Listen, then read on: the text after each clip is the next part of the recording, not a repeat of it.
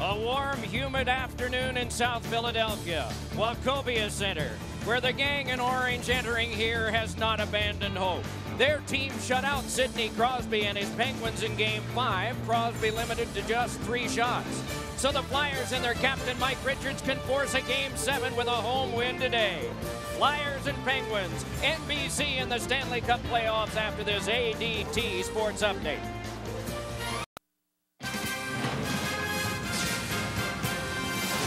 Pittsburgh Penguins took a commanding 3-1 series lead behind brilliant goaltending. But this heated rivalry continues today because the Flyers knocked down and shut out this high-powered offense to avoid elimination. Big rebound, Knuble score! Mike Knuble buries it! Game six is next. It's the Stanley Cup playoffs on NBC.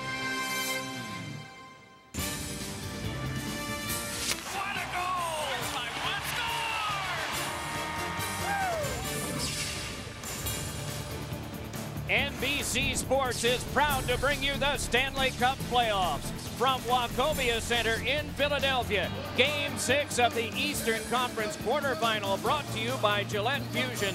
The Pittsburgh Penguins lead the Philadelphia Flyers three games to two. On Thursday in game number five, the Penguins tried 51 shots. 28 got through on goal on Marty Biron. None of them got past him.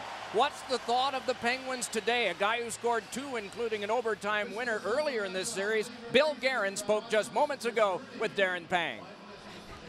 Billy, you bring a wealth of experience to the Pittsburgh Penguins in this situation, winning the Cup in '95 with New Jersey. What are some of the things that you can uh, share here on a really what what might be a Game Seven for you guys, even though it's Game Six? Well, today's a new day. It's a it's a clean slate, and you know when, when you win a game, you know you, you you enjoy it for a couple hours, forget about it, move on to the next game. You have to do the same thing with a loss. You've got a little bit of a resurgence from yourself too, playing on uh, with the youngster uh, Sidney Crosby and Chris Kunitz. How's that been? Uh, it's been fantastic. I've uh, I've enjoyed it since the day I got to Pittsburgh, and uh, you know they, they've uh, definitely they they give me energy and you know give me some incentive to, to try to keep up with them. Billy, thanks. Thanks, Panger. They seem to be having some fun, didn't they? The Flyers face elimination for the second consecutive time here. What's the mindset of that team? Who better to ask than the captain, Mike Richards, who spoke just moments ago with Mike Milbury? Game five, uh, efficient, really simple. What was the difference? That was it, simple. We didn't try to, to do too much things in their, their arena. We kept things simple. We kind of wore them down with the forward check and um, just being persistent. We, we stayed on pucks. We, we didn't force the issue offensively too much, and we got a couple bounces. You know the history of teams down three to one. What makes you think your team can come back from that kind of deficit?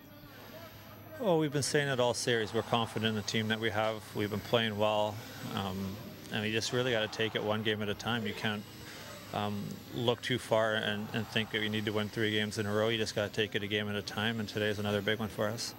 Thanks a lot. Great, thanks. Good luck. I'm joined by Eddie Olczyk. Uh, game five, the Penguins didn't do everything right. What do they need to repair here for game six? Well, I think the one thing that was pretty obvious uh, in game five, after a very good start, a very good first period for the Penguins, which they had 15 shots on goal, but not enough net presence, Doc, not enough second chance opportunities. And I think what's really been successful for the Penguins in the first four games has been getting people to net, no fear, whether they've been five on five or on the power play. There have been people to the net.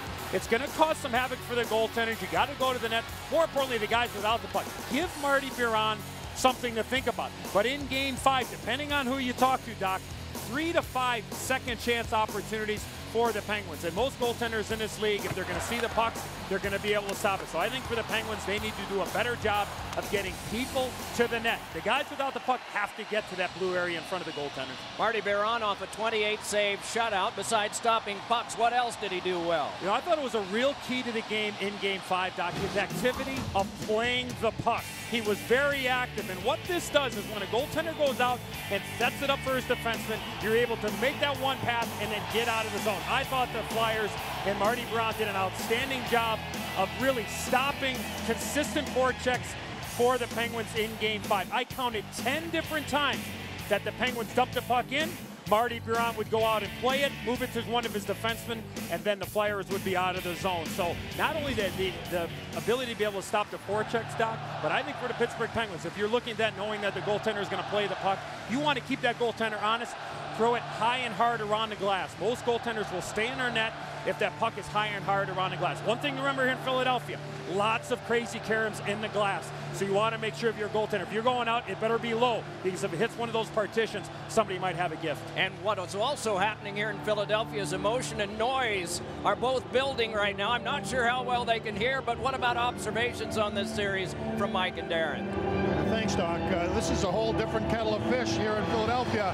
Uh, I think that they have to be reeling a little bit, aren't they? What is John Stevens saying, or excuse me, what is Dan Bylsma telling his team today, Darren? I think right now he's got to be telling that the Philadelphia Flyers really got their forecheck established in the last game. The defense of Pittsburgh have got to move that puck north, really push the pace and get it up the ice. They cannot deviate from the system that got them here. I thought they did that in the last game. For John Stevens, I think he's going to take the emotion in this crowd to make sure they control it. Game five was good for them because it was efficient and it was controlled. Doc Emrick, back to you.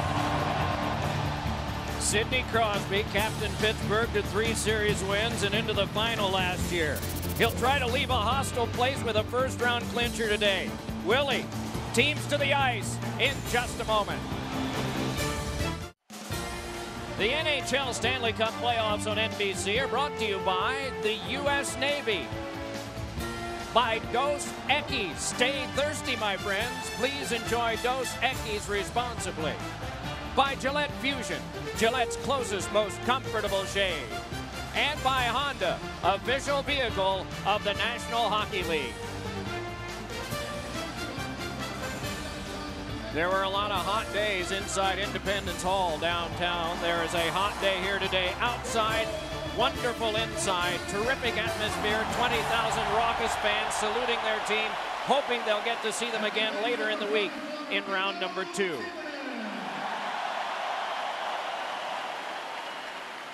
What kind of an emotional start, if you're the Penguins, do you expect here? Well, you got to expect a surge from the Flyers, but I think for the Penguins, making sure that they get their legs into it, get that physical presence against the Flyers, and know that they're going to be under siege in the first 10 minutes, but weather the storm for the Penguins. To the ice, Darren Pang and the Flyers, Jeff Carter. Thanks very much, Doc. And Jeff, obviously a must-win game for you.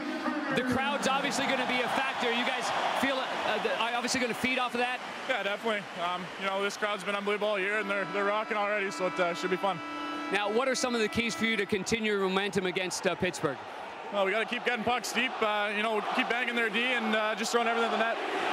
You've only you've only had a couple of chances in this game. What can you do differently to get some more opportunities? Uh, we just got to keep going. I think we got to get on their D and uh, and make them turn over and and uh, you know force everything to the net. Thanks, Jeff. Thanks. Doc. That's Jeff Carter. One goal in the series so far. Game six about to start in a moment.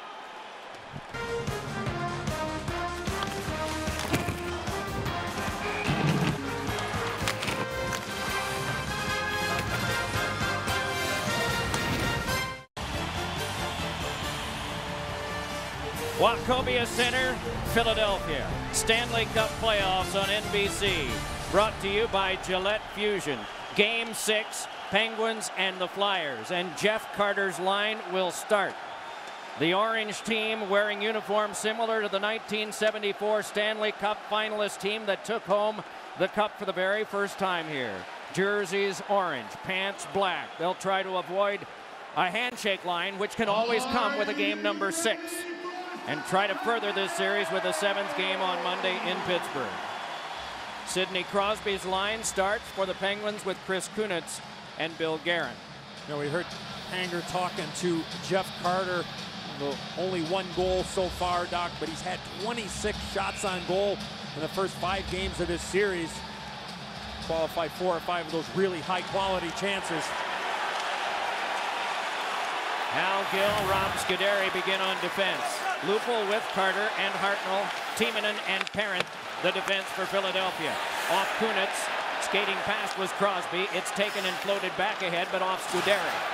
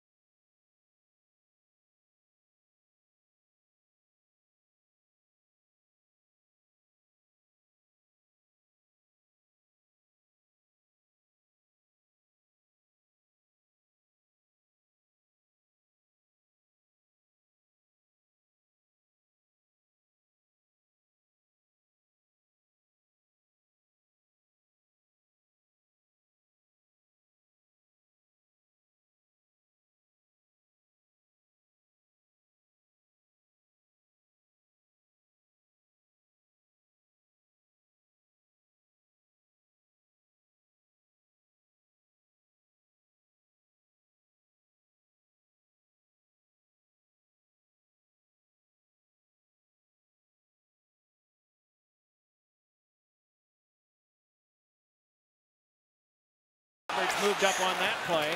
It was going to be offside.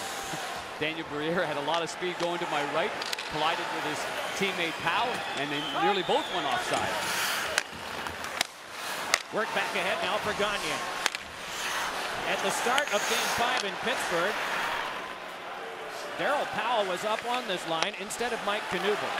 After the first period, they changed back to Knuble, and as you saw at the top of our show, he came up with a big goal in the game. Angled across Braydon Coburn, couldn't clear it out. It goes near Malkin, locked up there with Knuble, trickled it through to Fedotenko. No Peter Sykora for the second straight game. Scuderi across for a wrist shot by Gill that's blocked down. Fedotenko after that. He would normally be out there alongside Malkin. That one is shanked and can be played back out by Carter. A big loss for the Penguins, Doc. A guy that can score goals and create offense, especially on that power play. So Malkin, in that line, as you mentioned, with Fedotenko and Maxime Talbot moving from the center ice position up to that wing with Malkin. Both teams are going to try to get this puck going north right off the hop and try to establish some forecheck. And I'm sure Mike Richards on that last play, Ed, though, he uh, would like to do that again. He had the red line because it's right ahead of me, and instead of going north, he tried to go east-west, and the puck got picked off brushed on by Satan, but it ricocheted right back, and a good crunch by Aaron Asham. The line out there right now for the Flyers, it's so-called fourth line. Each of the members of that line have a goal in the series. This one came onto the back now for Eaton's shot. Oh, and that directed off the outside of the net right near the post. Boy, that was fluttering. That was a Phil Niekro knuckleball. Good idea there by Mark Eaton to just get the puck to the net. And one thing the Penguins have done here early is they've got people to the net. And the guys without the puck are as important as the guy with the puck. Get to those net areas, get to the front of the net, give the goaltender something to think about. Impressive in this series has been Kimmo Timonen. But this time it's thrown back down, though there'll be no icing here as the Flyers touch up first and control. Fed on back to him for a shot that ricocheted loose off of Orpik. Taken by Carter and a save made by Fleury. Scramble in front, they backhand at it. And it's ragged through traffic and started back out. Might be a three on two. Carried ahead by Crosby. Tried to lay it across. Guerin got to it. Guerin trickled one in front. Crosby slammed at it and it was stopped by Biron. Back the other way they bring it. It's under Carter and a shot is fought off by Fleury. Strong attempts from big scores on both teams met by the goalkeeper. Two three on twos each way and really high quality chances for both. 27th shot of the series there for Carter. And that's a really good, strong save with the left pad by Fleury. Controlled neatly. Giroux trying to work his way by, denied by Scuderi. Four and a half minutes in, we haven't had a whistle. Just end to end. Sponsors probably don't like it, but I think it's a terrific start to this game as Scuderi goes back with Hal Gill and plays to him and then took the hit that he knew was coming from Giroux. Now Kennedy brings it on. And Kennedy shuffled it back in.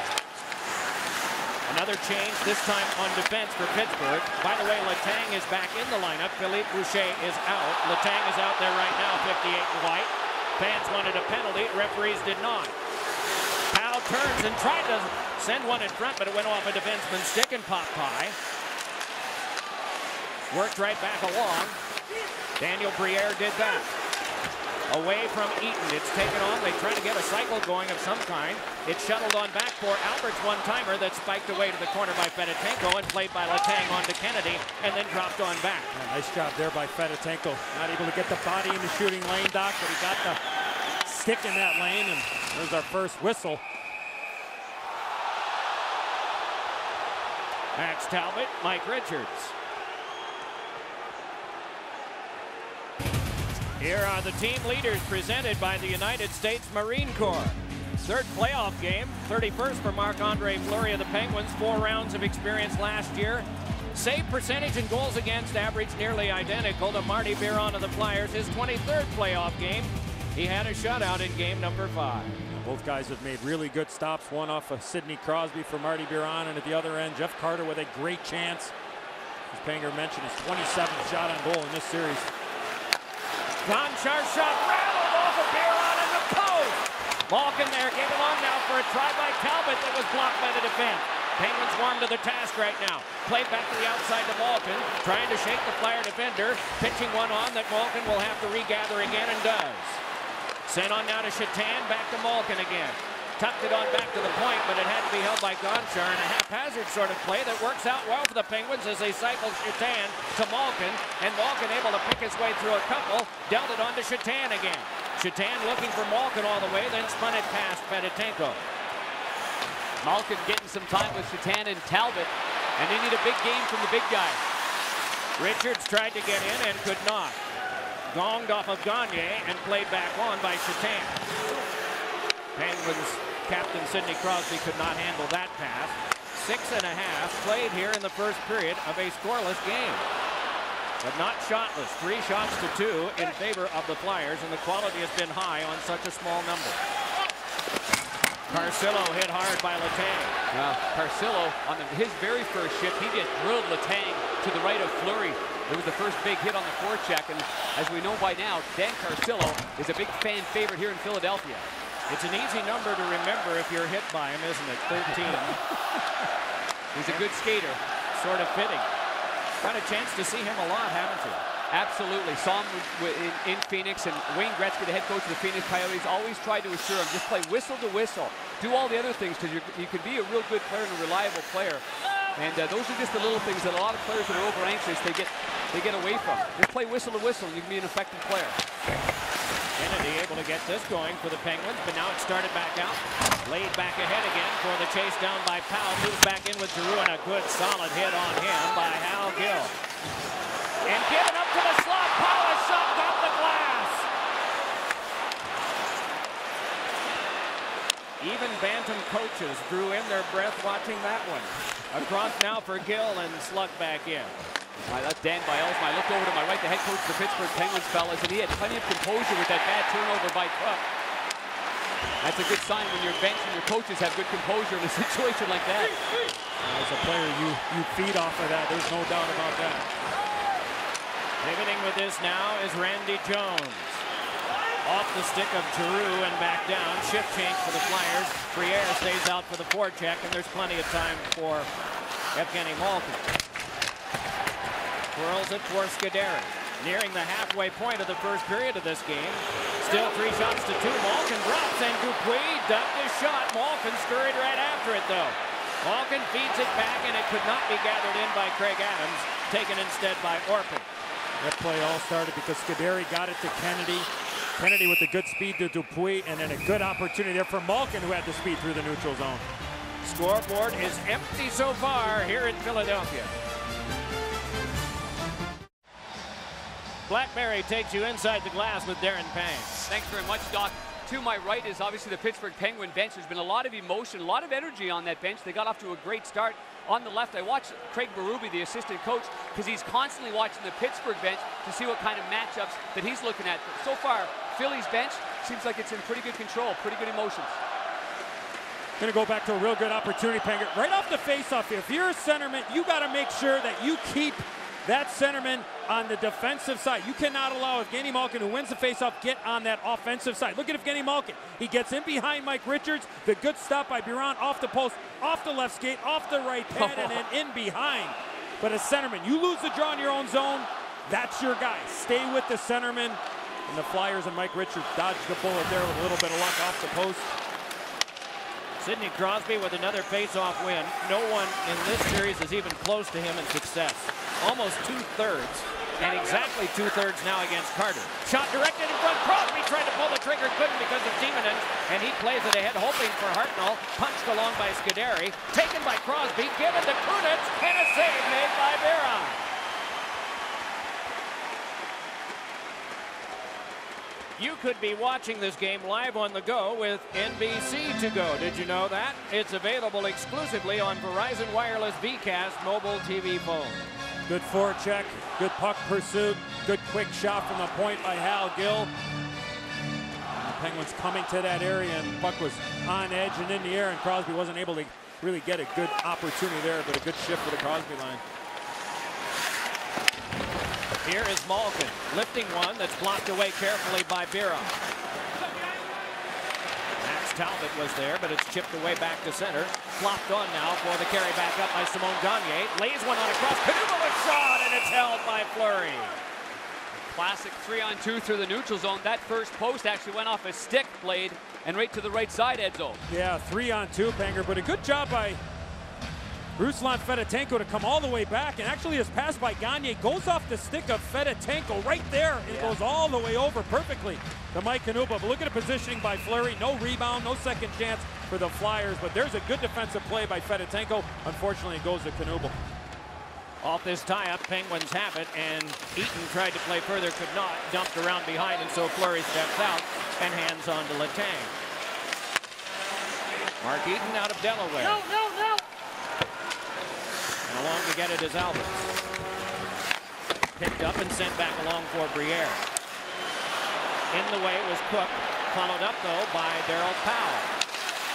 Powe pulled one, but Mark Eaton was right there to deny. Through the legs pass, and Eaton is right there yet again. Strong play by the Penguin defenseman. Stahl rifles it across, taken on by Kennedy, and shot wide. Stahl steps to this. Scoring chances in the first five games have been the same for Stahl's line as Crosby's. When you can get that kind of scare offensively out of a third line, you've gotten a lot. Taken on and lifted back out into the palm of Hal Gill. There's no rest for the Flyers there if you have those lines coming in waves, creating those chances. Here's Kennedy delaying some, but he was surrounded by orange and black, and so this is laid back on for Alberts. Following through on their checks, particularly that time Craig Adams. Laid back ahead now for Carcillo, trying to shake by Scuderi. Eventually does, but the reach of Scuderi prevailed. Hal Gill tried to clear. Jared Ross in the way for the Flyers, but eventually nudged out for the carry on by Adams. 32 years of age tomorrow is Craig Adams, one-time Carolina Hurricane Stanley Cup champion player. Nothing like getting a Stanley Cup champion player into your lineup. Just what they can add at a quiet time in the room or just on the bench. Yeah, picking them up on waivers from the Chicago Blackhawks this year.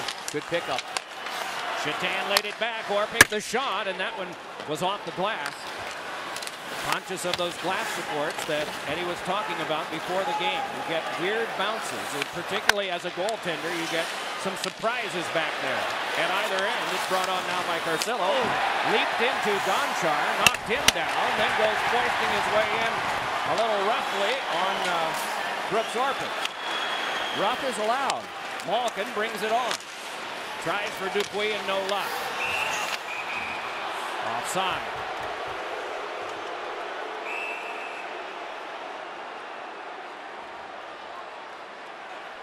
No score. First period. This is the NHL Stanley Cup playoffs presented by Gillette Fusion. Coach uh, Dan Carcillo kind of got things riled up here, doing a good job on the forecheck. Yeah, you know what, Panger, he's really played well for us. He plays between the whistles hard, he gets in, he played a lot of courage. He's got a bigger skill set than people realize. Do you like your start in a must-win game? I think both teams are playing pretty hard right now. There's a lot of desperation from both sides, so pretty much what we expected. Thanks, John. All right, Panger, thanks. Over 11 and a half minutes played and only seven shots. And most of them have been memorable in terms of getting chances and with the goalkeepers handling them well. Not a lot of room. Gagne's shot is calmly blocked away. So Marc-Andre Fleury and Marty Biron have done their job so far. The probing continues as Malkin glides in, carried heavily to the boards and glass by Gagne. Talbot fed, Fedotenko could not tip. Knuble lays it ahead now to Richards. Pulled and wanted to work it on to Coburn. Only one defenseman back now. Coburn glides back into the play. I think the best, the big left forearm of Hal Gill just got Richards right in the chops. He just went off to the bench and he was in a great deal of pain. And Edgar, you know how long that arm is of uh, Hal Gill's, huh? it's like a big redwood. It is. Not a lot of room to try to get around him. And when he was able to play pre-lockout, forget about it. Him and Chara and Malkin. Six feet seven, 250 pounds. Timonen and rifled one across. Backhander tipped just wide by Hartnell. Hartnell tried to get one in front that's held by Fleury, and Hartnell continued to work away. Could not free the puck. Well, right before we went to that last commercial, Pascal Dupuis, a little bit of a shot in the face from Braydon Coburn. Not sure if it was the stick or the glove. There, Panger, right in front of you. Had a great Yeah. view of that. That big left arm of Yeah, as, Hal Gill. as long as it's not my teeth.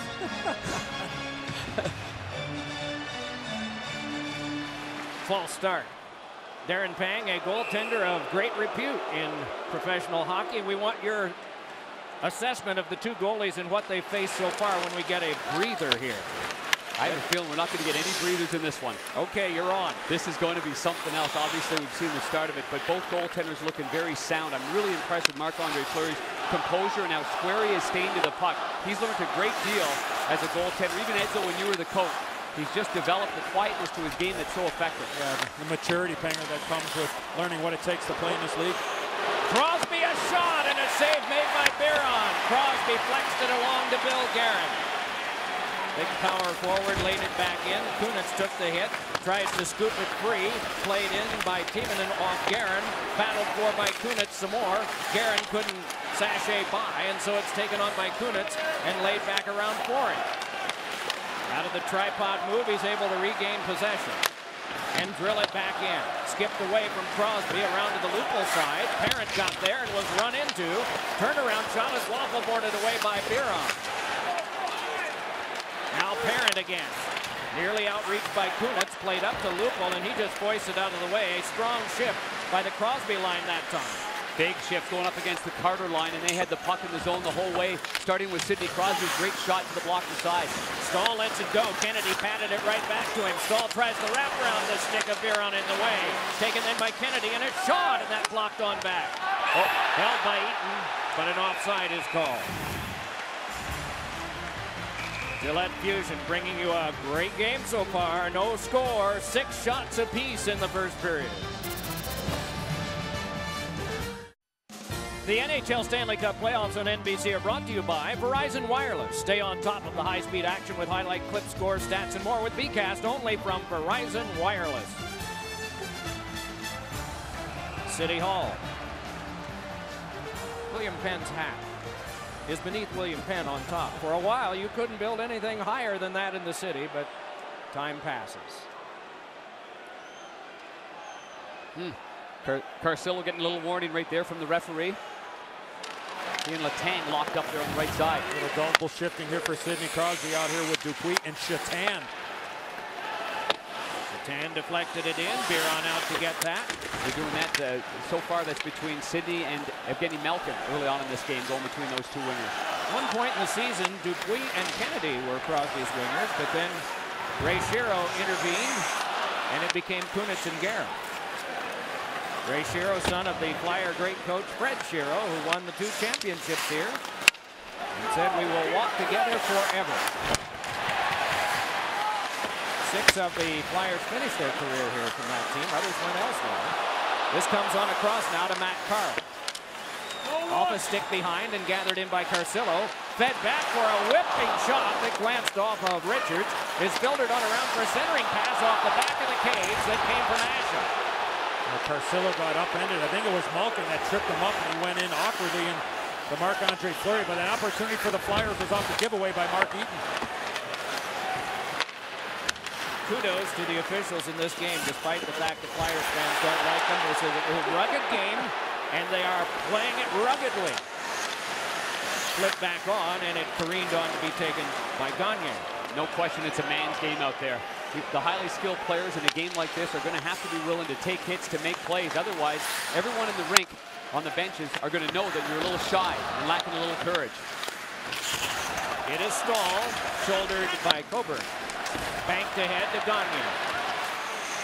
To the last 4.05 of the first.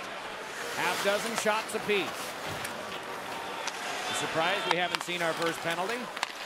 As I said, a little I think, bit. I think they've done the right job. There's been some heavy hitting, but none over the line yet. Kennedy flipped one. Staal got it. Giveaway there, Doc. Sorry, Marty Biron, a giveaway. Onto the back Gonchar, drubbed it on for Kennedy, but off his stick.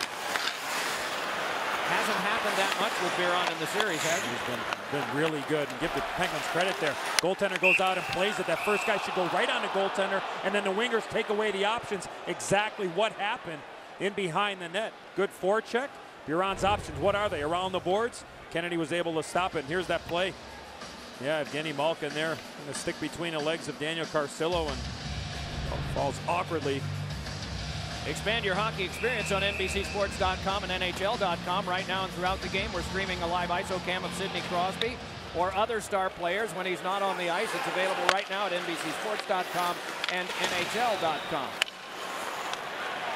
And on these teams, if you're picking stars, you would have quite a few to choose from on both. Kunitz able to turn and take. About eight or nine star cams. Guerin was jostled there, but bounced off of it. Gave it on to Kunitz, then off the stick of Crosby. Parent connected with Hartnell. And back in. Well, they waved that icing off at the last moment there, so the Flyers are able to keep it in the zone here. Best chance of this game has come off Crosby stick still on that rush through the neutral zone. Lupul cross-bodied there by Hal Gill. Under three minutes to go, and Jeff Carter takes it. Watched by Crosby. Crosby able to steal it right away and play it on to Garrett. Yeah, nice job positionally there by Crosby.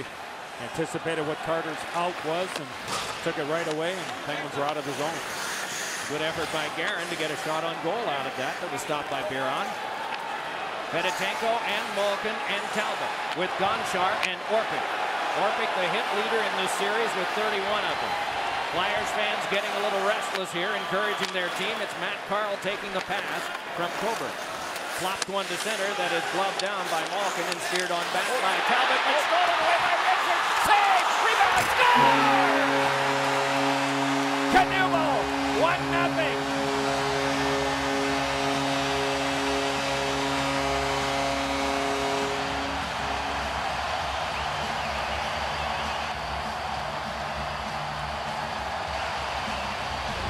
Well, what a play, but watch what happens. Here's Maxime Talbot, but watch the man there, Mike Richards. Talbot not sure that Richards is on that backside, but the strength of Richards, he tries to slide that puck five hole, and Marc-Andre Fleury lost his net. Give Mike Knuble credit. Watch where Fleury goes. He makes the stop. He just slides out a little bit too far. Knuble with the wide open net. Yeah, Fleury ended up going, as we see from our Navy net cam, he had to go to his left because that's the momentum that Richards was bringing him to. But remember when the fans were a little impatient with that controlled breakout? Hey, it's time here in Philadelphia to pick out our Suzuki fan of the game. There are three allegiances there. You notice the number of Carcillo and Gagne, and of course the hair is Darren Pang.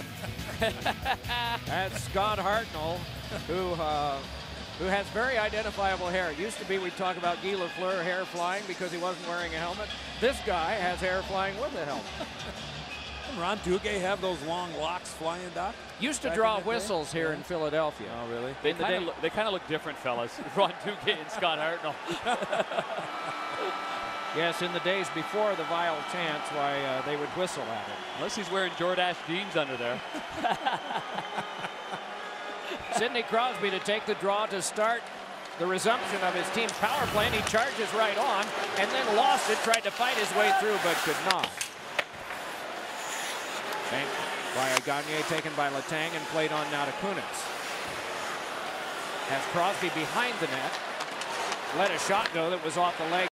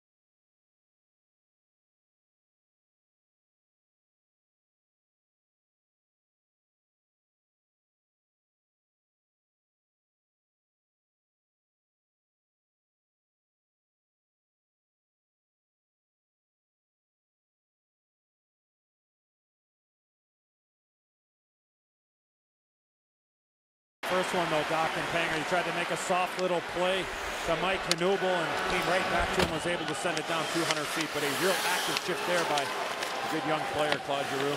That's what good hands will get you. You can make a mistake and still feather it out of the zone.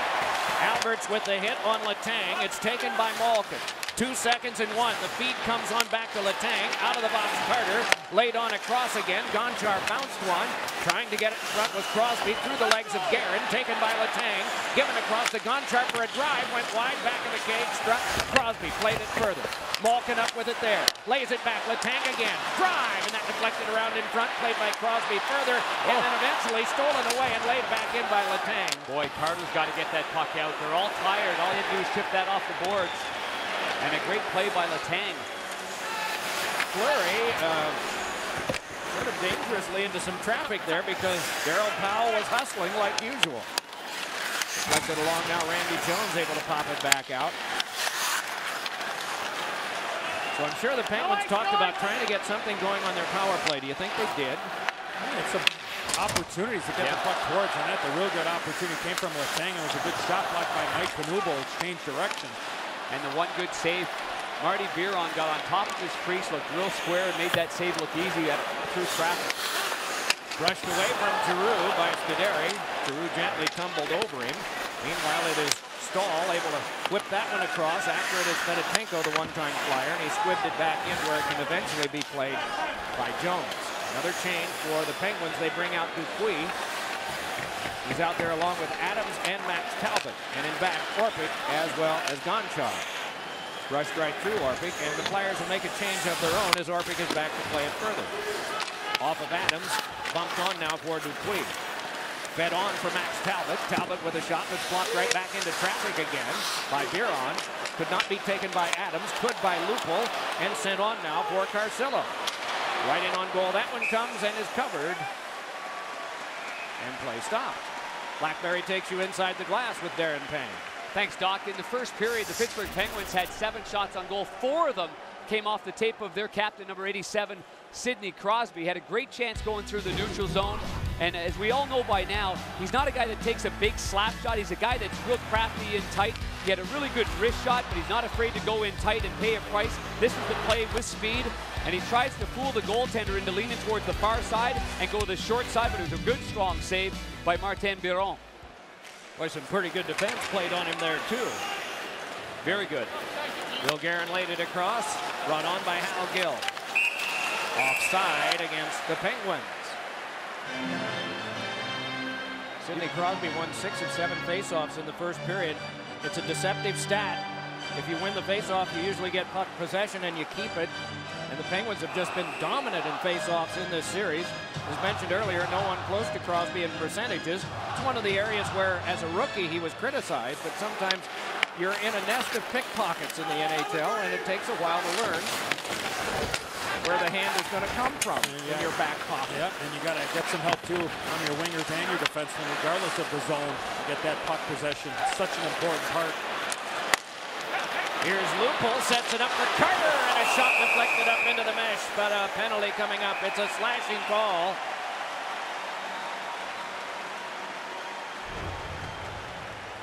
Well, Scott Hartnell gets the puck wide to Joffrey Lupul, and then on the back check, I believe it's going to be on Sidney Crosby. Yeah, it's his He's- broken stick right there. Comes all the way across and breaks his stick. Yeah, he went to the bench for a new twig. Two minutes for slashing. The fans here in Philly are on their feet. Anytime you're a great player, you get the wrath of the opposition crowd. It was nice puck movement there by the Philadelphia Flyers in the neutral zone. Quick pass by Hartnell. Lupul attacking the blue line, and Carter just filling in that area there and with that quick wrist shot. Yeah, very unique that both guys. Carter's got one of the best wrist shots in the league, and we know what Lupul can do based on that goal he scored in the first period. Power play is sponsored by Bud Light. Given up now for Orpik, but then help came from Mark Eaton. This has the possibility of being a momentum type of power play. The Flyers get up by three with a big power play goal here, and for the Penguins, want to keep it to two. Here's Briere. Score!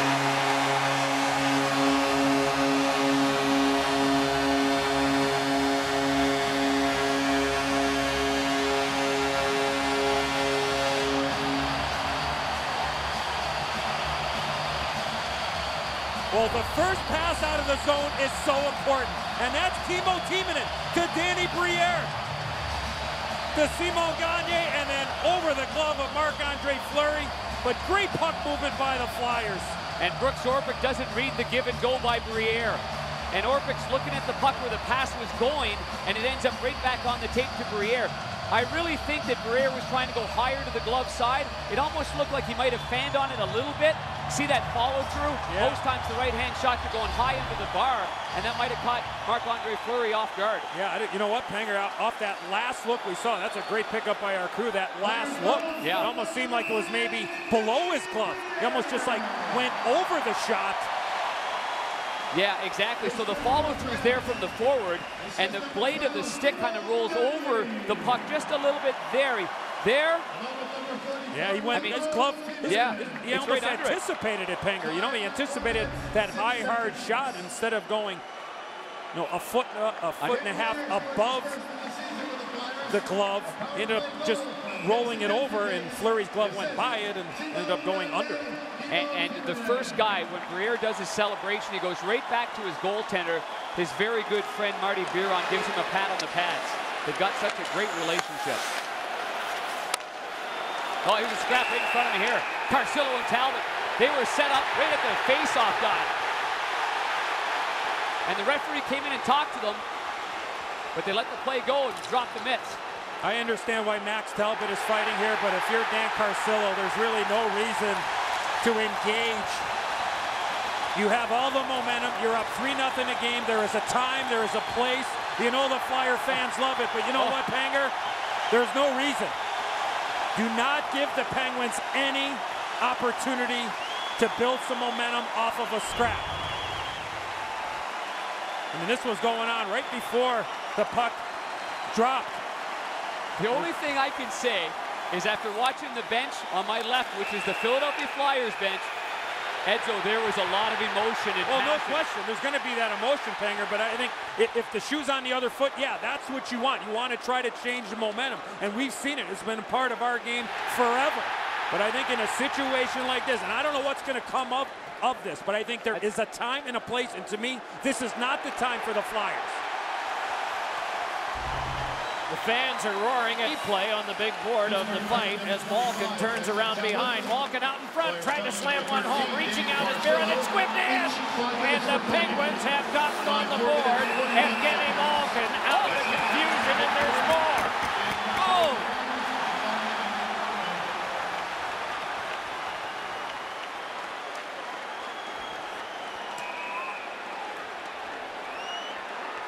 What an effort by Malkin in behind. And then all 10 players on the ice come together in front of Marty Biron. But what an effort by Evgeny Malkin.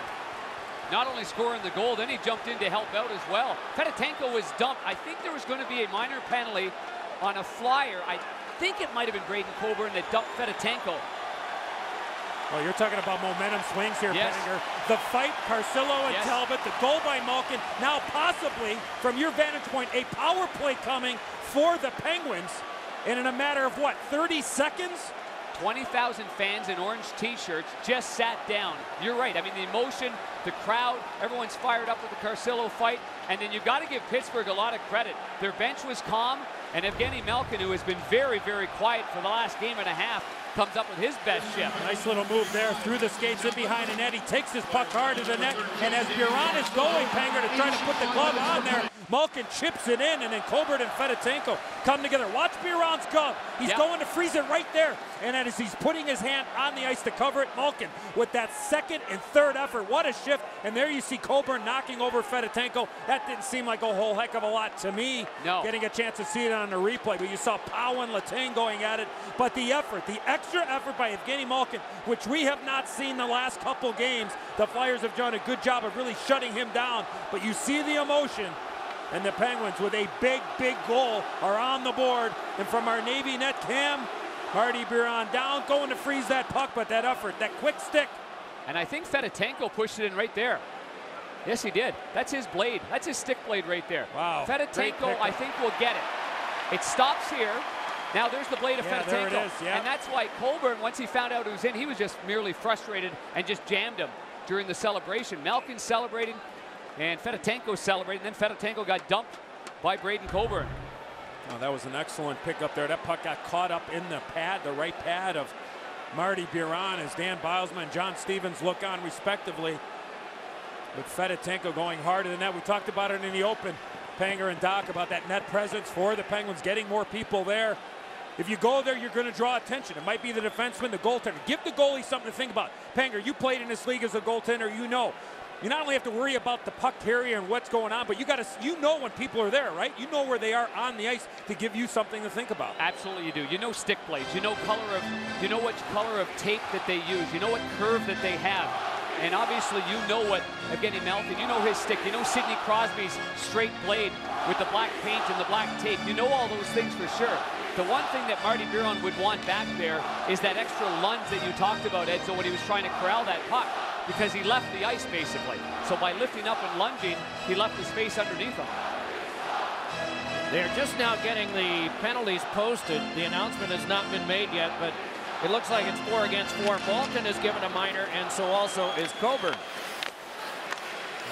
And I like the communication between the referees and the coaches.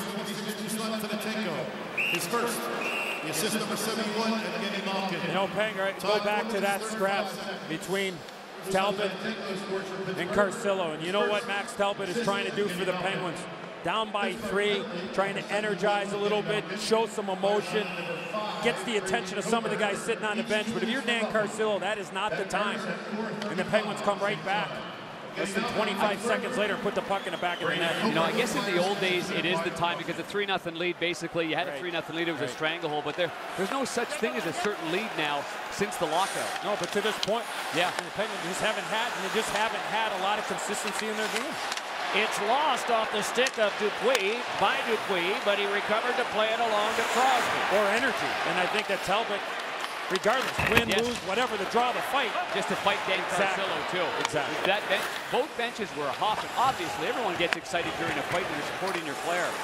But as it turns out, Edzo, you are correct. It does happen. Gonchar with a drive from center ice that is on goal. You know, Edzo, it's always the goalies. Like when I was in net and, and there was a scrap going on, I just like I just liked the scrap and I supported our guy and it always gave me a lot of momentum. I didn't really think too much of the after effects in the old Chicago Stadium. One NHL updates whenever and wherever. Just text the word hockey to 51515. Again, the letters hockey to 51515. And here's Carle.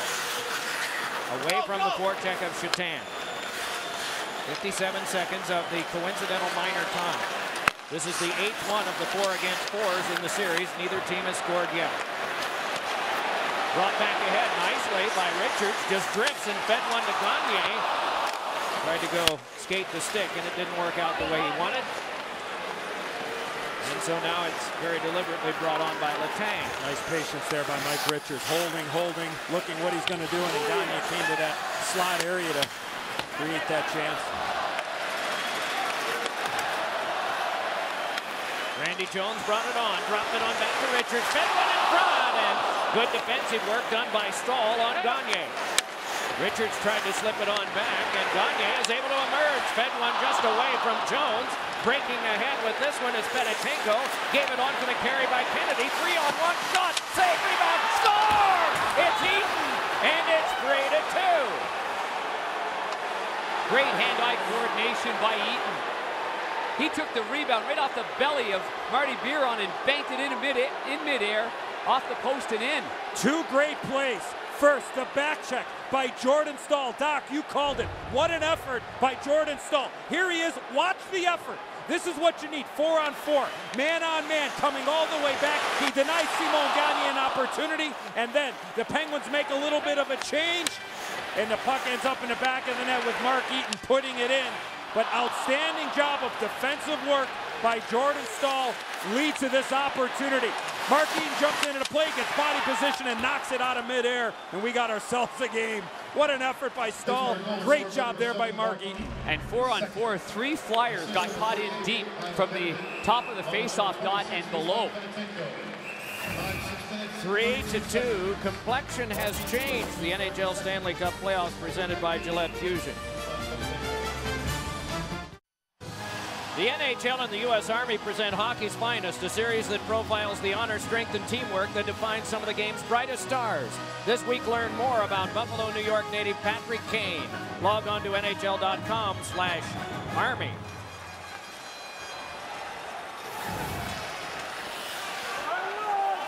Bill Guerin brings it ahead. Hands on to Hal Gill, shovels on to Kunitz. A blast is waffle boarded away by Biron. Hartnell brought it on.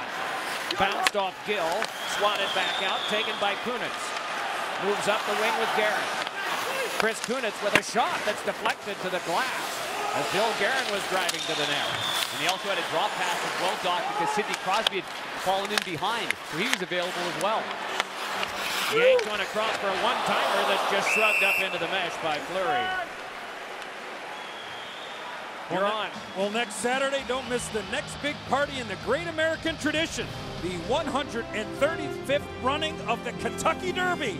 One week away, next Saturday, 4 Eastern, only on NBC. That will be fun, and I know you have some opinions, but are you sharing them at this point? Well, wait. No, oh, yeah. We're the appetizer before the Derby oh, next week. Oh, okay. Lifted on back, and that one bounced behind. There is a horse that was named after one of the skirmishes of World War II. Turned out to be disastrous for the Allies, named Dunkirk.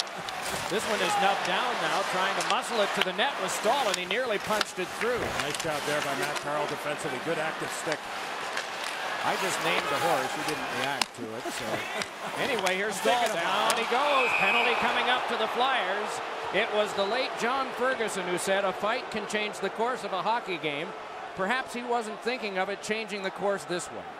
Now John Stevens not happening after the real good play by Matt Carle defensively here on Jordan Staal. He gets in behind and he just gets the stick between the legs just enough to break stride. And the Penguins with a gigantic opportunity here on the power play. Brought to you by Bud Light and centered by Crosby. And knowing that momentum had changed, Dan Bylsma, the rookie head coach of Pittsburgh, did an excellent job getting his big horses on the ice immediately. Two straight by the Penguins, entering three straight by the Flyers. Letang a shot that got the glass over the glove hand of Biron. Fed on back Letang again. Getting his pad on that one was Marty Biron. Put off Letang's stick, but to Gonchar. Hawked by Powe. Turned along on the bounce for Malkin. Taken away by Carter and flipped into Malkin. Funny what a goal will do, though. But Evgeny Malkin, so quiet in the first period, has been a big player here in the second. Yeah, really, the last two games, Penguins, both games four and five. Talked to Dan Bylsma, the head coach of the Penguins, and really felt that he struggled, especially in game four here. Yeah, it was mentioned to him about game five. He said, well, you know, he's actually game four wasn't a good game right. for him. And I like that honesty, and he's right, because it's been addressed inside that room, and the big players know exactly what they have to do, as we all know. Yeah, game four, the Penguins won. Rattled around and Malkin saw it pop up high. Able to control through the swatting of sticks and played on to Kunitz, then on back to Letang. Letang dropped it onto Malkin again. Fed it across. Gonchar shot. Shrugged right out in traffic by Biron. Scramble for it there. It's still loose and dug out and carried on and cleared back off a stick to center by Giroux. He's got to get that down all the way. The defenseman for the Flyers not able to change. That puck's got to get down 200 feet. Nice move by Letang, Dropped it back for what he thought would be Malkin, but it's Giroux, and he clears it back down with half a minute still left on the kill. Solid PK work, though, by Braydon Coburn in front of the net, handling big Evgeny Malkin with that rebound line there. It was all physical play by Coburn. Speaking of big, here comes Staal and Alberts. Yanked around by Guerin and taken by Eaton. Then back for Guerin, but it's squibbed behind to be taken by Staal. Run by Alberts and the puck to Gagne, and it's cleared back down. Two seconds and one. Carle is out of the box. Staal dumped it back in and went after it along with Kennedy. Alberts is back there too, and he's shoved out of the play by Staal. Bouncer came to Kennedy, and a save made by Biron. Then Satan, he goes down, and a penalty coming up to the Flyers on that one. Middle of the game. Three to two Flyers, they'll be short again. Well, Danny, a, a quick change of events here. Obviously, that fight, Maxime Talbot deserves a lot of credit for changing the momentum. Uh, you know, Maxim out there took it upon himself, and uh, you know, certainly he got us aware of the bench. He's paying the price, and that kind of thing that does change the momentum. Followed it right up with uh, Geno going to the net there, poking one in the crease. Now we're right back into it. Well, it looks like you do have the big guy going now, Evgeny Malkin. Looks like he gained a little more confidence here in that second period. Well, you know, we, we played well in the first period. We got off, the, you know, off the off the plan when they get those two goals, big momentum shift. But right now we're back on our plan. We're playing the right way, and just got to keep playing this way. Big power play. Big power play. Get this one, get us right back into this thing. Thanks, Dan. Thank you. Boy, the two biggies with a combination that did not work. Crosby over to Malkin and Biron. But now Gonchar cranks it back in.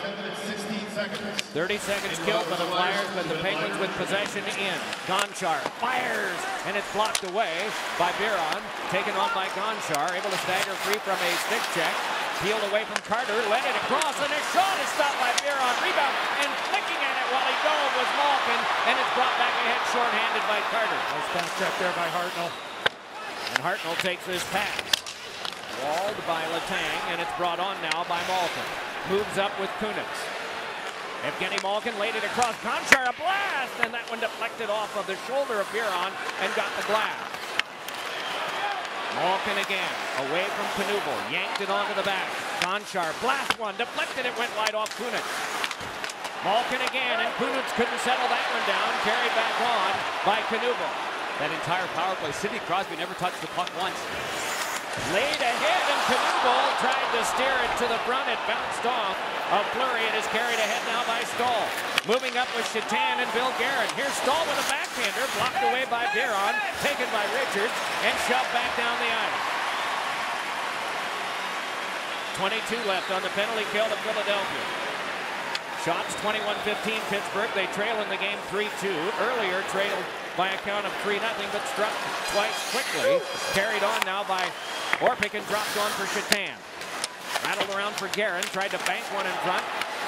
Just could not work his magic there with Braydon Coburn, and it's taken back out by the Flyers again. Penalty time up out of the box is Alberts. The delay by Gagne. Fed one around in front.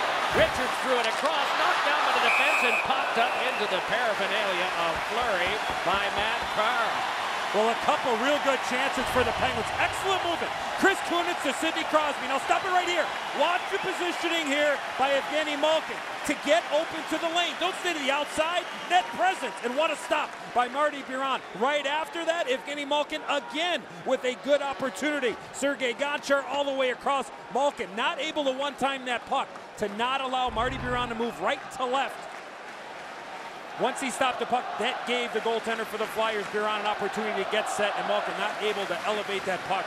But a couple real, real good chances for the Penguins early on that power play, and then the Flyers did a nice job the rest of the way through. I think Marty Biron is holding the fort quite nicely, considering he gave up two quickies. Six minutes of power play time. He has faced here, half of it in the attack zone. Penguins with five power play shots. The Flyers have had only 21 seconds of power play time in the contest. Something that did not slip by the notice of their fans. Carried back ahead and sent on to center where it can be thrown by Giroux, back off of Powe, flexed across by Scuderi, and turned back out again by Gill through the legs Kennedy, and then along to Talbot. Talbot tried to play it in, but offside was called as the puck must be the first thing across that last blue line nearest the net at which you hope to score. Panger, what are you feeling down there? What are you feeling in between the benches right now? Well, momentum clearly changed here at ice level. It's, it, you know, the Talbot fight, I'll go back to it. I mean, obviously both benches are, are all fired up, and Pittsburgh knows what he's doing, and Philadelphia knows what Carcillo's doing. The place is jumping, 20,000 people. But then the first goal, then you could really sense the energy coming from the visiting bench from the Pittsburgh Penguins. And, uh, you know, at that point then, when Philadelphia takes a couple of minor penalties, you, you could just sense the ice being tilted in one direction. That's how you handle those momentum swings. We saw it the, the other night in game four in the Calgary-Chicago series. Calgary with a 4-1 lead. Chicago came back with three goals. Good opportunity there. Hartnell throwing the puck to the net. Chicago comes back, ties it up at four. Here, the Flyers up by three. A scrap. And next thing you know, an opportunity, pucks in the net, another goal, 3-2, now you got yourself. So how do you handle those momentum swings, that adversity? Whether you have it or you're trying to regain that momentum, and there Joffrey Lupul going hard to the net. Smart play here by Hartnell. Just get it to the net, force Marc-Andre Fleury to make a stop, a rolling puck. A hard one to handle because if that's flared out on that left pad, there's a juicy rebound there. And that's one thing Dan Bylsma was talking about that before the game to us, Edzo. Right. About firing pucks at pads. Look at this. Oh, a denial by Hal Gill as dancing to the front of the net. Hartnell now reaches in and gets his stick out of the cage as you watch Craig Adams bring it on. Adams trying to fight through, could not come up with a puck. Carter could, laid one along that went off the skates of Hartnell, but he controls now. Hartnell fed one that was jabbed away by Dupuis and taken on by Carter, but then lost quickly to Scuderi and trying to get it to Adams. A free puck with under six and a half to go in the second. 3-2 Flyers. On now Dupuis. Gave it to Crosby. Back for Dupuis. And it wouldn't go. It's off a skate in front. What a give and go that was. That's Crosby with no curve on his stick. He is so good at going from the forehand to the backhand. This is brought on by Fedotenko. A shot is turned back out in front by Biron, but there was some help there. Mike Richards outlets it ahead. Carried on by Gagne, has Knuble breaking. Turned it around behind where Fleury was challenged by Knuble, but passed it on through. Lobbed back in by Coburn, centered in front. A backhander is off Fleury on a nice pass from Richards to Gagne, and a penalty coming up against Pittsburgh. Fedotenko will sit. The Flyers will go to the man advantage. They've got a one-goal advantage on the big board. A full-length power play, perhaps, for the Flyers coming up here on Fedotenko's knockdown on Gagne. Cross-checking is the call.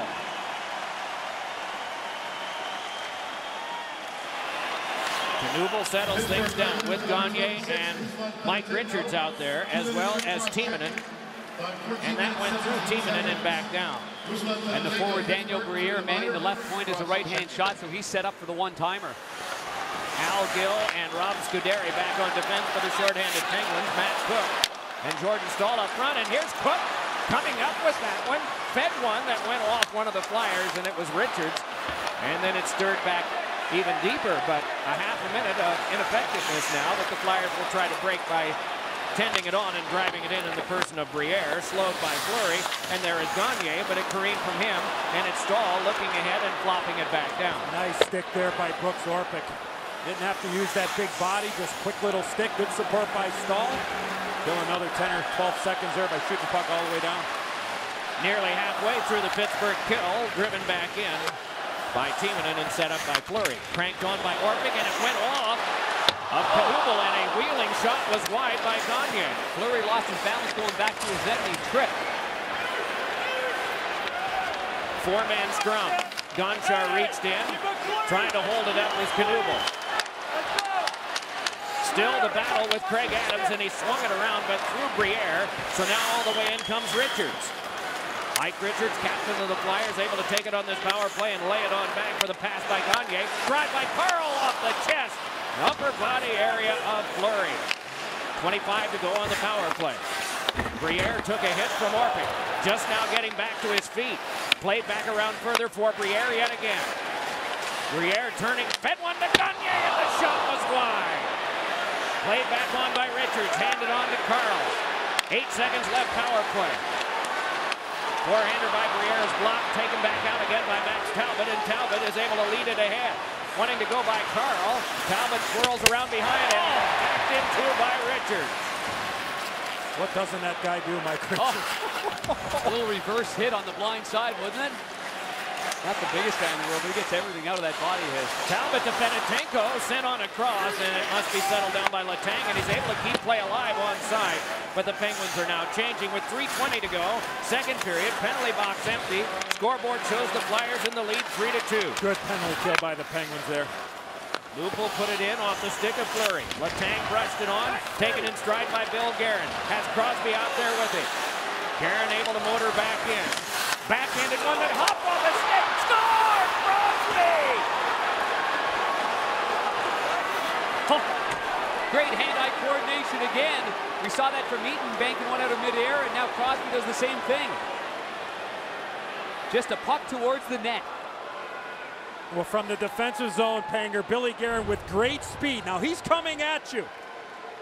Three on two. It's almost a three on three. Yes, it is. But stop it right here. Here's Billy Guerin. But watch Crosby. All you young hockey players, watch this.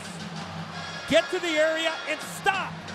And now push yourself back to the front of the net. Marty Biron, I'm not sure, Panger, this puck got on him. It went off of Kimmo Timonen. This puck was coming directly on Marty Biron. And from that vantage point, it goes off of Timonen up he wasn't able to catch it and out of midair. Sidney Crosby puts it in behind Marty Biron. But what a play. If Crosby doesn't fly by there, if he goes behind the net, that puck's not in the back of the net. That's stop in front of the net. Hockey sense all the way. Marty Biron had that right in the web and it went off the heel, the bottom part of his glove. That's an easy play there in terms of just watching the puck and scooping it up. He might have been preoccupied with something else after it ricocheted off his own player. Guerin swung one in front. Timonen rifled it back out. Well, why are there so many flybys as opposed to stop and waits? Uh, it's hard work. Here's Crosby moving on in, trying to get one across. It's poke free. Driving to the net is Kunitz. Fed it to Crosby. A bank shot went off the outside of the cage and is started back out by the Flyers now. Worked on up the wing Lupul. He's got Carcillo breaking. Fed it to him and it was spiked wide by Hal Gill, who had the bigger reach. I think a lot of it too, Doc and Panger, is, is just habits.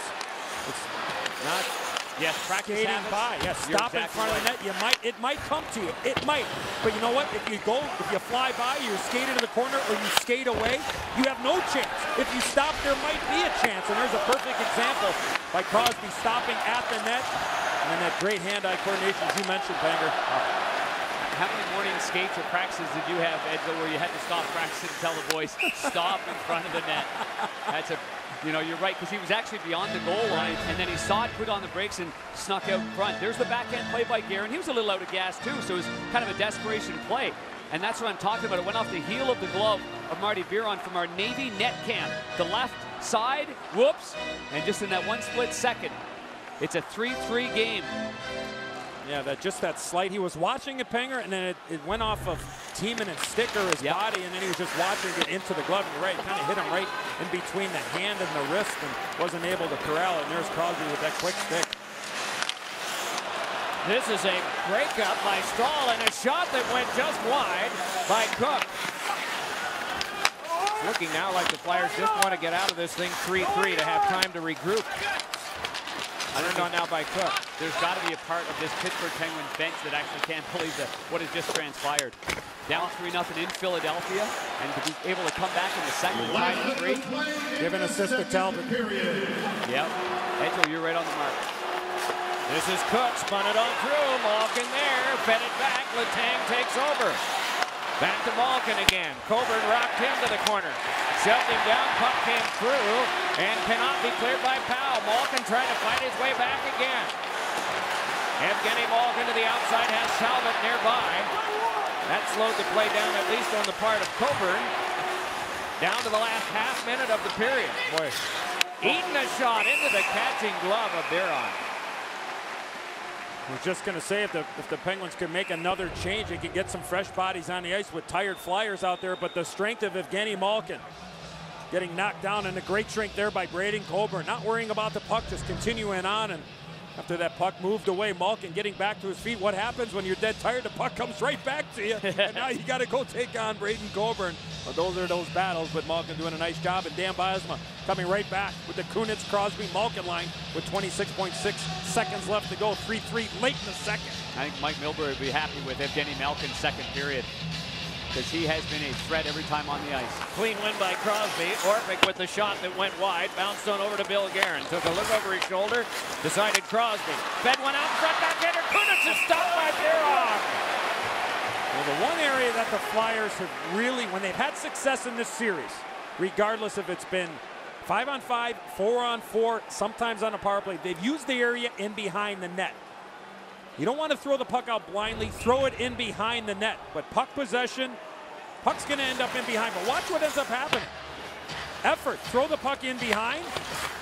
Crosby throws it out. There's Kunitz right there. Net presence, just like we talked about in the open. Centering pass by Crosby, bounced free and is eventually outletted on for the carry on by Gagne.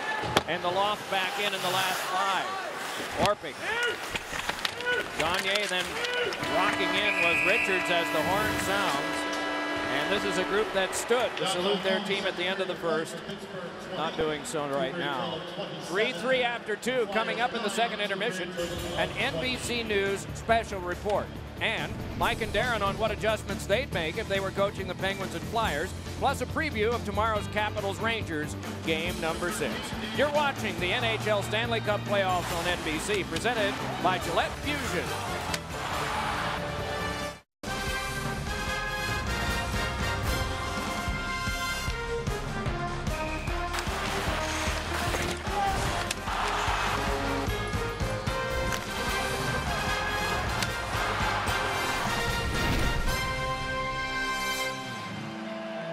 Third period in Philadelphia about to begin. Here are the Verizon Wireless sounds of the game with the Philadelphia Flyers' Scott Hartnell. See me coming and poke it? Yeah, I was coming there too. I like one-handed it because I thought he was going to go for it, but he just stayed back and stayed. Great call. Go, go, time. Reverse. Get live game scores, stats, and alerts and exclusive video on your Verizon Wireless VCast phone. Max Talbot, regular season, fighting majors, one. Playoffs, one. Daniel Carcillo finished fourth in the league in a tie for that position with 22. Talbot knew what he was getting into, and he did it anyway. Lob back in, and Bill Guerin goes after it in this now 3-3 tie. Crosby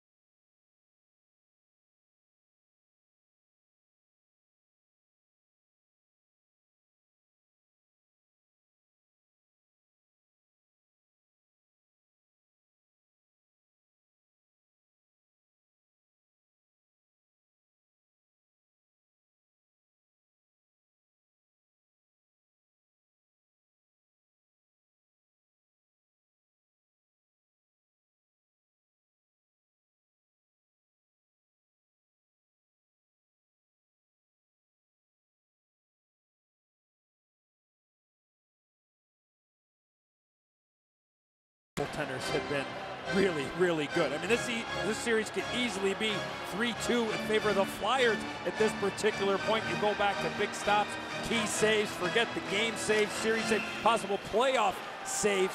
You go back to game two. Flyers with a 2-1 lead, late, five and a half minutes left to go in the third period. Marc-Andre Fleury stops Jeff Carter. Penguins eventually tied Evgeny Malkin, and Billy Guerin wins it in overtime in a five-on-three. But both these guys, Panger, I think have been just really, Yeah. really good. You're right, Ed. So it's not like there's a bunch of plumbers on both teams. I mean, look at the skill level that you've got going. Nothing wrong with plumbers. Yeah, but you know, I mean, the Yeah. skill, the hands of Yeah. Giroux, the hands of Greer as, as third line guys, the hands of, you know, Staal and Kennedy have shown that flash. Yeah, lots of Yeah, that. absolutely. So every time there's a scoring chance, it's like, it's going to be a good one. Would you say this is a pretty aggressive forecheck for the Flyers there? The Penguins Yep. are able to break it. Here's Kennedy firing, and that deflected wide. Good defensive play by Andrew Alberts. It comes back to Cooke, wrapped up and shoved along the board by Alberts, but he went down. And trying to step free was Staal, but no sail because of Giroux. Chopped right back in again. Settled down by Matt Cooke. Fed on back to Letang. Letang's shot was snuffed out and then cleared back down by Daniel Briere. There will be an icing that will come up from this as Letang touches up. If you're the Penguins, you know you have the momentum. Continue with the things that are your strengths, puck possession, getting pucks in deep, attacking the front of the net. And if, and if you're the Philadelphia Flyers, I, I think that you, you need to simplify your game right now. You're kind of in between. Guys are zigging when they should be zagging and vice versa. So have confidence, get the puck in, get into a little bit of a forecheck, just kind of get the legs going and take advantage of getting pucks to the net. Darroll Powe hands it across for Briere. Kicked on by Gonchar, taken by Brooks Orpik. Orpik dumped one further. Carried ahead by Evgeny Malkin. Malkin able to send it back to Gonchar. Big blast! Score! Four to three, Pittsburgh. Seemed like Philadelphia was really caught up in getting a matchup. They had some flow going in the offensive zone by their third line, and they had to turn around, spin around, get a line change. And by the time they got their fresh troops on the ice, it's obviously a, a, a, quality scoring chance, and the fourth straight goal by the Pittsburgh Penguins. Yeah, it was right after that faceoff, Panger. The Flyers not able to change. They got the puck in deep, and I like what Dan Bylsma did. Once he knew the Flyers weren't able to make a change, what did he do? He loaded up. He went with Billy Guerin. He went with Evgeny Malkin. He went with Sidney Crosby. And Sergei Gonchar, with his first goal of the playoffs, blows it by the stick side of Marty Biron. But a heads-up play there by Dan Bylsma to load up. And it pays dividends with the fourth goal of the game and the first lead of the afternoon by the Penguins. And, and so Coach John Stevens of the Philadelphia Flyers throws on a line of, of Richards with Asham and, and Dan Carcillo. I mean, you got you got to know that Carter and Richards are going to be coming at the Pittsburgh Penguins in waves now, because now it's now the eyes are wide open. I mean, now it's now it's a 4-3 deficit with your season on the line, and there is no tomorrow. Crosby in on this faceoff with Giroux, who has come on in Richards' place from the unit that you mentioned. Carcillo remains out there, and is able to win this one on for Asham. Angled across Carcillo after that. Guided it around behind. Giroux took over there. Couldn't pull the trigger on a shot, though. Quick reaction by Letang. And another shot by Alberts was wide. Matt Cooke able to settle this down and just plop it on back. Somebody's got to step up and make a play for the Flyers. Time now for Inside the Glass with Darren Pang, brought to you by BlackBerry. Well, the momentum really shifted in that second period, and one of the things we're going to focus on here inside the glass is some of the bobbled plays close to the net. You talked about momentum. Momentum something that a goaltender can also change. Rebounds happened in front. It looked like there were secure plays by Philadelphia, but lo and behold, hand-eye coordination and persistency by the by the Pittsburgh Penguins ends up in two bobbled plays and two goals. Shoulder put into Staal, bounced off that, and shook it around behind. Crosby drops back further. Carle out on defense, as well as Coburn. He moved up on Staal as this is played ahead now for Cooke to give over to Letang, and a drive is blocked away by Marty Biron. Second effort by Coburn was good enough to get it out to Hartnell, who played it safely on back. Penguins in the midst of a change, and the Flyers make a change as well. Hartnell is out there as well as Lupul, and they go with Richards up front with this crowd now. Richards' pass was shut off by Craig Adams, who was bumped by Coburn, but not until he turned it back. I think the Flyers have got to get pucks going north. Those turnovers in the neutral zone are going to kill any kind of sustained momentum and pressure that they can put on Pittsburgh. And that one in a high slot's going to put you six feet under. You make that play. Matt Carle, Craig Adams, the veteran standing right in that high slot area. You're right, Panger. Better support. More two-on-ones for the Flyers in the neutral zone especially. Gagne across to Richards, rifled it across, hoping for Knuble. Cancels out with Dupuis. And then jostled off the play was Talbot. Right back to battle some more, and it came on to Scuderi, who shoved it on. Gonchar's goal came from Malkin and Brooks Orpik at 2.19 of this third period. Gagne stymied there. Good work is done by Dupuis to get it around. Parent there cancels out with Satan. And so it's Timonen. Lobs one that was bounced down at center by Fedotenko. He's able to carry back and drop it off to Malkin. Malkin able to hand it on. Here's Gonchar shoveling one. Knife down and a backhander oh. by Satan. That was stopped by Biron. What an artful play by him. Malkin yet again. Bounced off that, gave it to Gonchar. Played around behind Miroslav Satan to get it. Slovakian-born winger got it onto Fedotenko. Sent on further, and Malkin decided the body was bigger. He'd take that before he got the puck. Has it back again, and it's buried there. In a good solid play made by Darroll Powe. And then Malkin comes back on Powe, and that'll cost him. A cross-check on Malkin. Powe has drawn the penalty against Pittsburgh. Philadelphia should calm things down now because they've already got a power play. Malkin just had a heck of a shift again. The coffee kicked in for Evgeny Malkin after that first 20 minutes of play. Well, watch Evgeny Malkin here. There's a little bit of a shot by Darroll sure. Powe. No problem here. Oh, wow. You know what ended up happening? His legs got spread out. Yes. They got farther out than shoulder width apart. And to me, that's the same type of shot as Powe gave to Malkin, and then Malkin gives it to Powe. There should not have been a cross check there. On. I agree. Just a good battle between the two. Yeah. Power play brought to you by Gillette Fusion. Short-handed here is Staal moving in, canceled out by Coburn. And it is taken over by Matt Cooke, who lobbed one around. Staal a shot, didn't get much on it. But the fact that they had the Flyers pinned back there was substantial for the Penguins. A pass too far, just flexed right back down again by Gonchar. Carter never was never looking for that pass. Never looked once. Frustrated too, just slammed the, the bench door shut here. A lot of frustration there on his behalf. Richards laid it on back. Forehand shot by Gagne, ricocheted high, swung at by one of the Flyers in front, Hartnell. It's fed no look across for Richards to feed back now for Timonen. Then yet again over for Hartnell. Back it comes for Timonen, a shot, and that hits someone in front of Scuderi. He's shaken up, down on one knee and back up, staying in the play gamely as it came back for another blast, and it's deflected wide. I think Adams, even when he slid by, he got a piece of that with his stick. You're right on the mark. It was parallel to the ice. You're right. Here's Briere holding now. Has Hartnell near the net, and he gave it on to him, but was off his skates, poked along by Gill, shuffled up the boards, and it came right to Timonen. Mike Richards floated that one on. Hartnell took it, knocked away, on back to Timonen, off the glove, a flurry, and cleared by Hal Gill. Great work down low by Scuderi and Hal Gill. Such underrated guys when it comes to the seven-game playoff series for all the little stuff they do. Took Scuderi a little while to get to the bench there, but what a gutsy effort there with really playing that shift with one arm.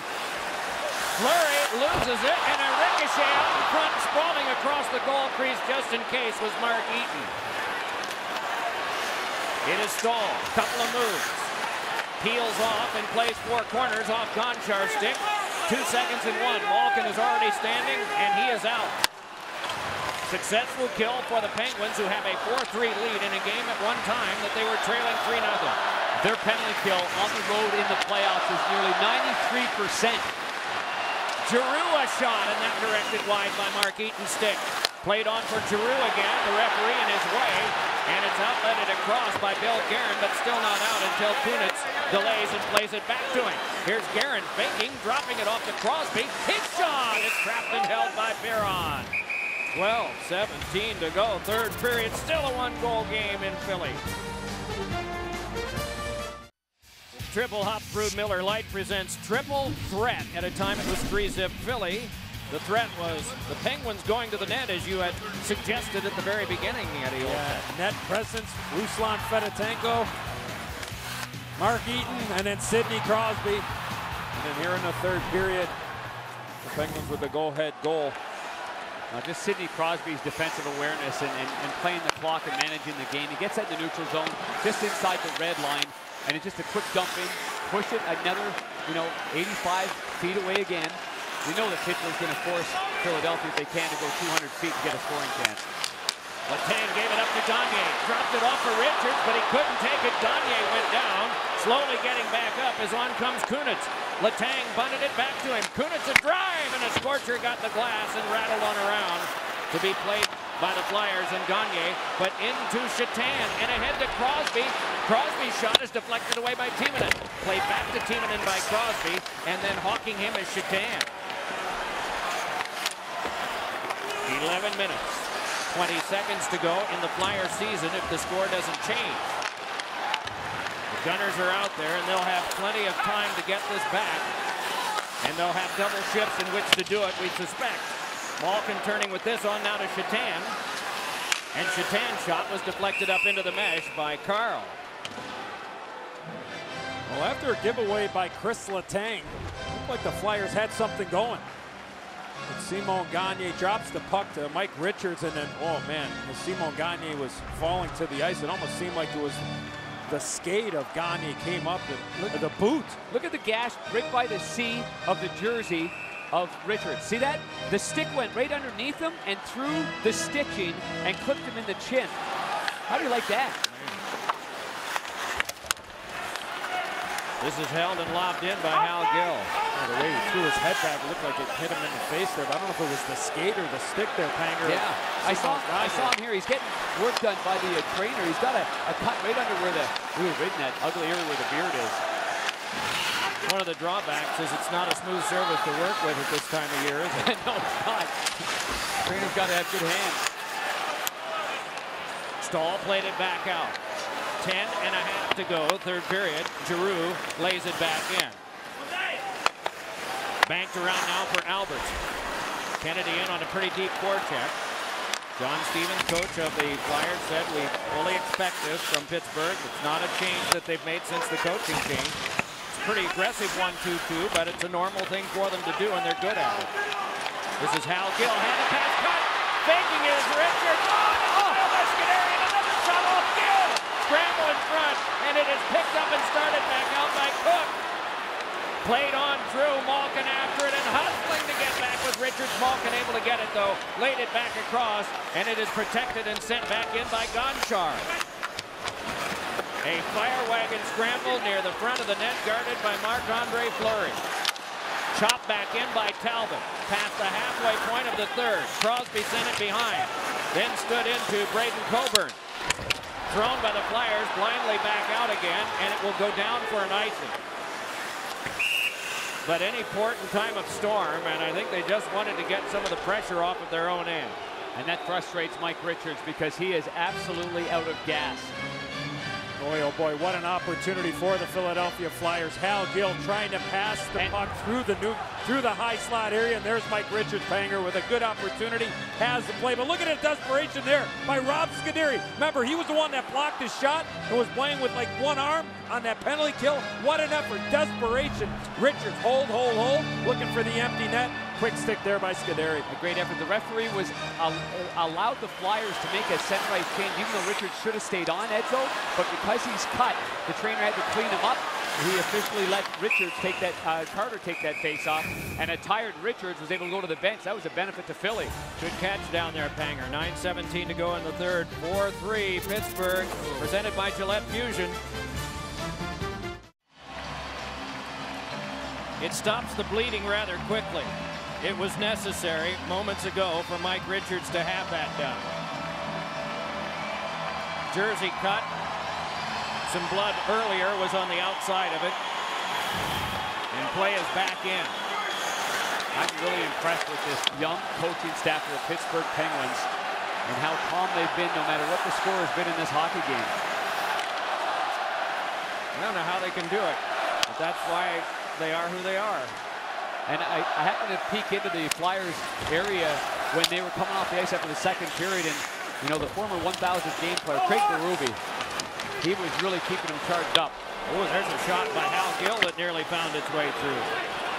That's a guy you'd want on your side yeah. if you needed to have a, a charge yeah. put into a team. You'd like to have him as an ally if you're John Stevens. Yeah, really watching uh, John Stevens and Craig Berube have a conversation during that break. Oh, here's a chance! Oh, the pipe! Just now getting back to his feet is Giroux. Got the iron with the shot. Giroux came off the bench with a great opportunity Kind of a makeshift line there in the middle of a change. I think John Stevens got to think about that, Panger and Doc, is maybe changing up the lines a little bit. Well, you got to do everything. You're, it, there's no tomorrow here. And, uh, you know, that's the bottom line. So whatever guys have that jump and have the ability to put a puck in the net, you're going to have to have them on the ice. I'd nominate 28 in the orange, that's oh. for sure. And he's been quiet in this game. That was his best scoring chance, I thought. This is given up now to Letang. Letang fent one in front that was spiked wide by Matt Cooke. Seven and three-quarter minutes to go. Flyers down by one in the series, by one on the scoreboard. Oh. Giroux tried to go one-on-one -on -one with Eaton. No luck there, but the puck came back to him, though Malkin is able to control it. Chris Letang did not play in the last game is playing today and strongly so. Back on with it comes Carle, gave it up to Letang, made the safe play, and it came fortunately for the Penguins to Kennedy, who shoves one over the glove hand of Biron against the glass. Wiping out was Richards, but not until he stoked it on to Carle with 7-10 to go. Laid across now by Richards. Has to get through the quicksand. Richards steps in, took a whack from Dupuis, kept going. centered, but it came on back to Carle. Carle threw one that was blocked off by Gonchar. Chipped on by Richards. Gonchar tries to work with it. Malkin able to direct it onto Dupuis. Headman's onto Malkin. Picks up Adams, got it to Dupuis. Tried to play it across, and a good cancellation by Braydon Coburn on defense. To the point, Gonchar a shot. That one hit off Adams. Settled down by Dupuis and lob for Adams around behind, and he'll chase it down. Carle on him defending, six and a half to go. Sent on to Dupuis again. Dupuis learned to lean to the outside by Carle and then shoved off by Coburn, who struck the boards heavily. Around with this now is Crosby. Crosby twirling away from Gagne. Took a whack from Carle. Crosby turning to the outside. A backhander went off of Coburn. And Coburn is able to follow up and reverse back through Billy Guerin and play it behind. Carle's gas. He can't get off the ice. Scuderi played it back in. They still have not been able to get a change made for Carle, although Coburn is at the bench now in a change. Here is Guerin trying to slug one in front. That doesn't work. Carle able to take this and nudge it on, and now there'll be an opening for him to come to the bench. Right back ahead comes Jeff Carter with it. Carter drops. Hartnell the shot. Directed by Oh! And a great save made by Fleury on Lupul. Karam to cross and Lupul in perfect position to get a great opportunity denied by the oh! young Marc-Andre What a Fleury. stop!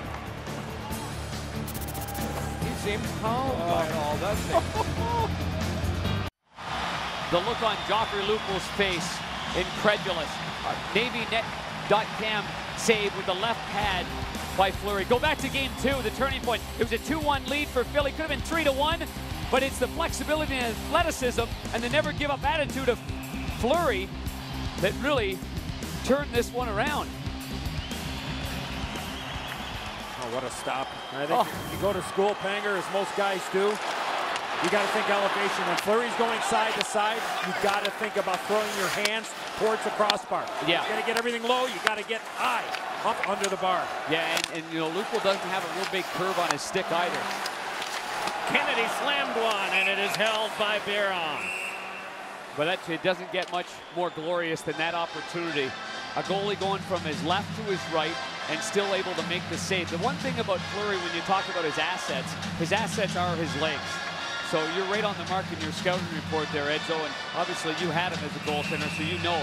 But his legs are so good moving side to side. And that, you know, he got a little bit of a break right there, but he gets there. It is Gagne starting it ahead. Simon Gagne flopped it on, hoping for Richards. Coming by and tumbling down to the ice was Giroux.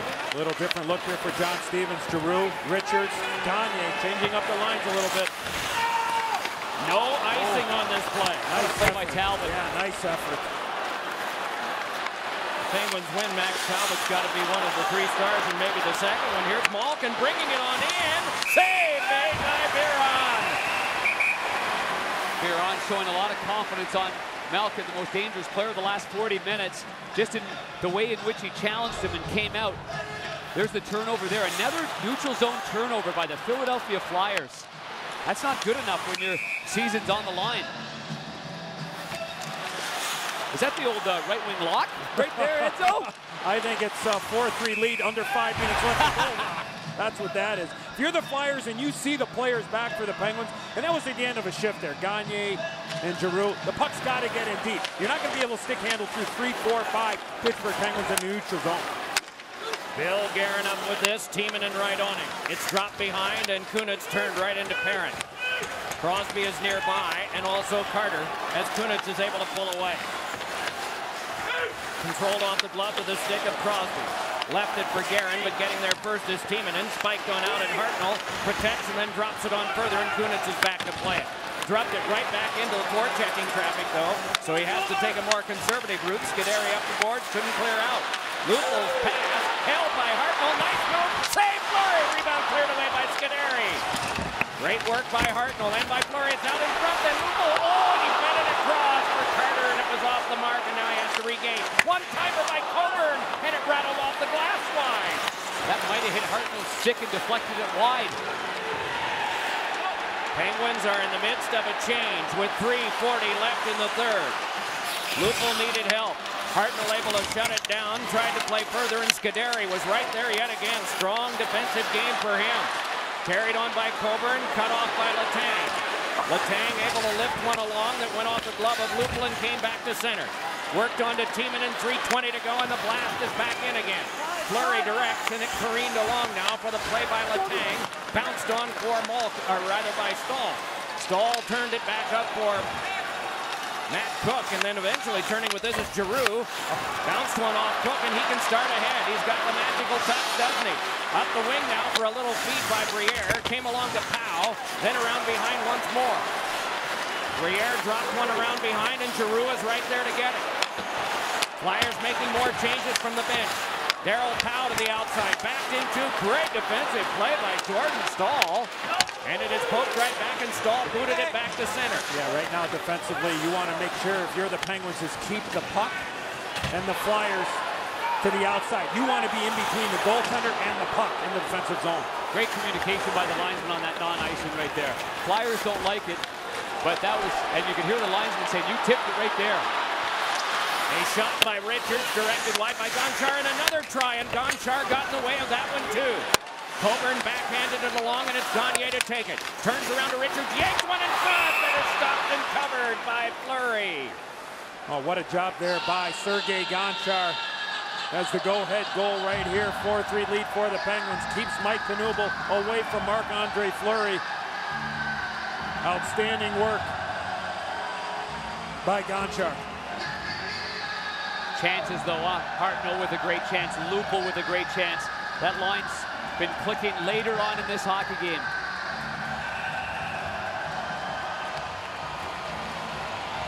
The fans are now standing. No urging by the scoreboard. You don't have to tell them what's at stake here. They don't want this to be their last home game of the year.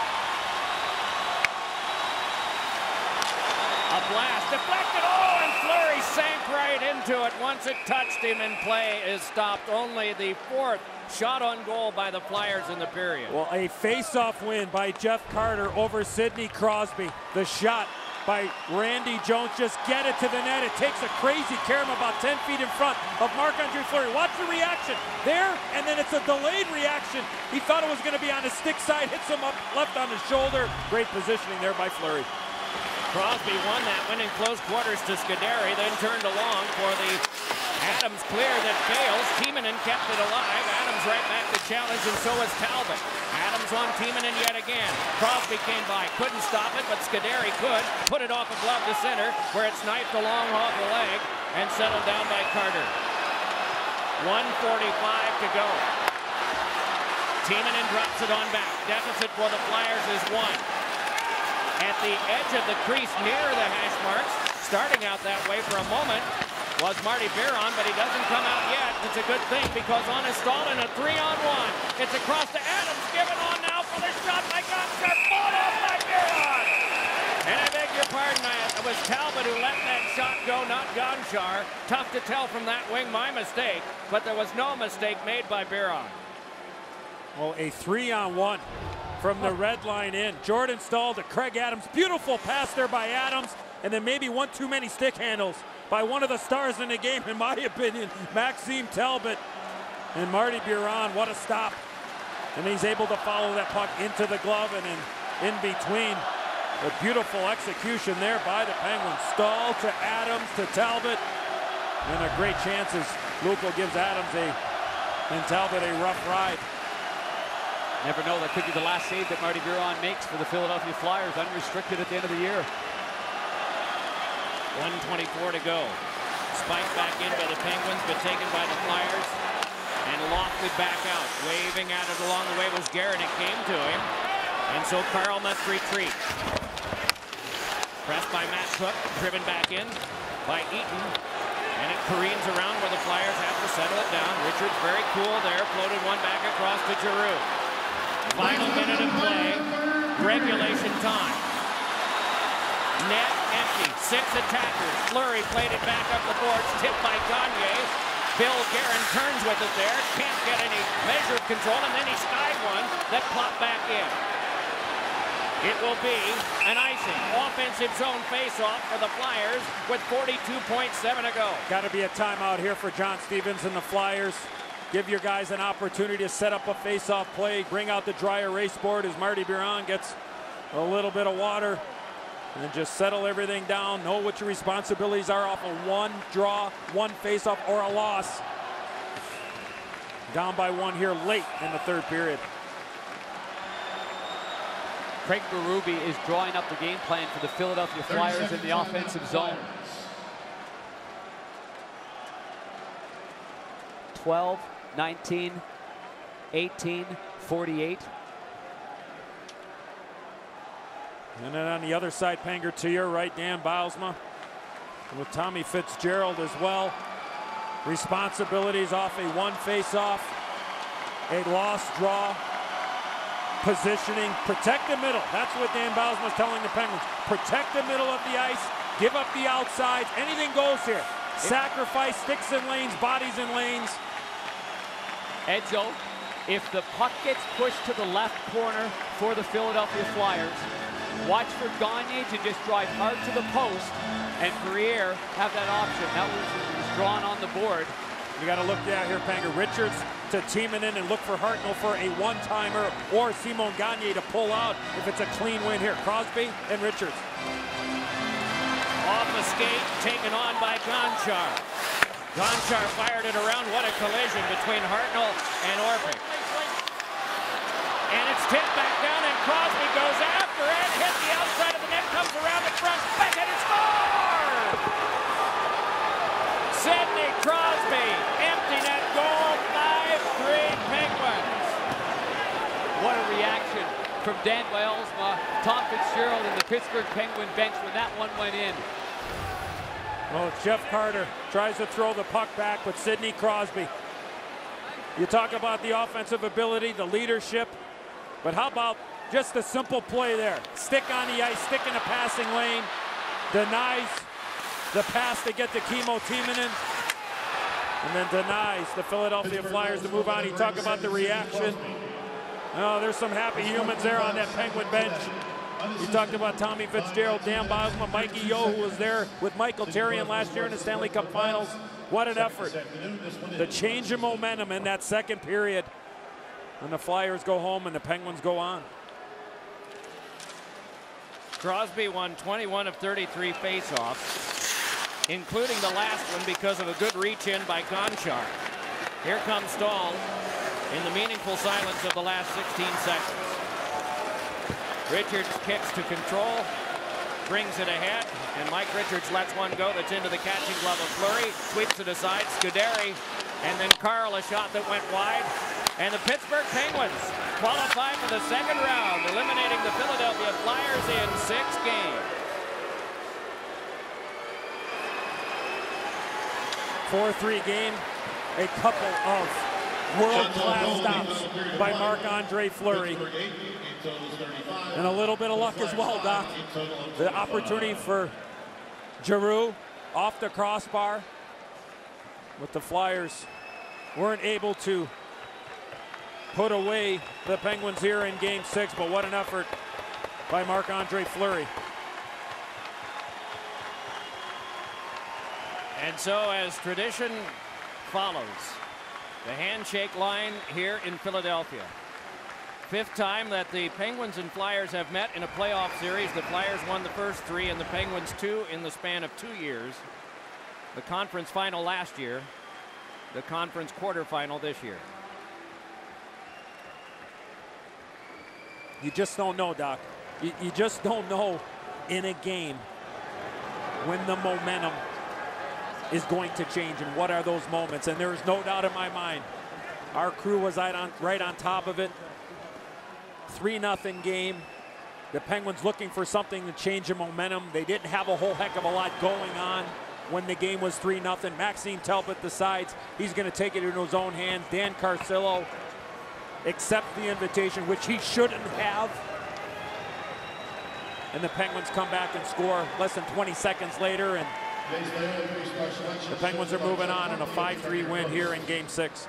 You just don't know, Doc, when that is. And there's times to, to change the momentum. There's times to say, you know what? at that particular time, that was not the time for Dan Carcillo to go ahead and engage with Maxime Talbot. And today's first start for Pittsburgh, Evgeny Malkin. It was interesting. Briere and Crosby actually lingered for quite a while, chatting after the last of the handshake line had departed. Marc-Andre Fleury is downstairs with Darren Pang. A couple of goalies, look out.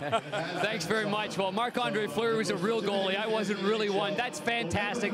What a great series that you had. And how much did you learn in this series with all the ebb and flow of it? Uh, that was a tough one. You know, I think we, we were up 3-1, and uh, you know we knew that they didn't, they didn't quit. You know, they kept going until the end, and uh, again tonight uh, they give us a hard time.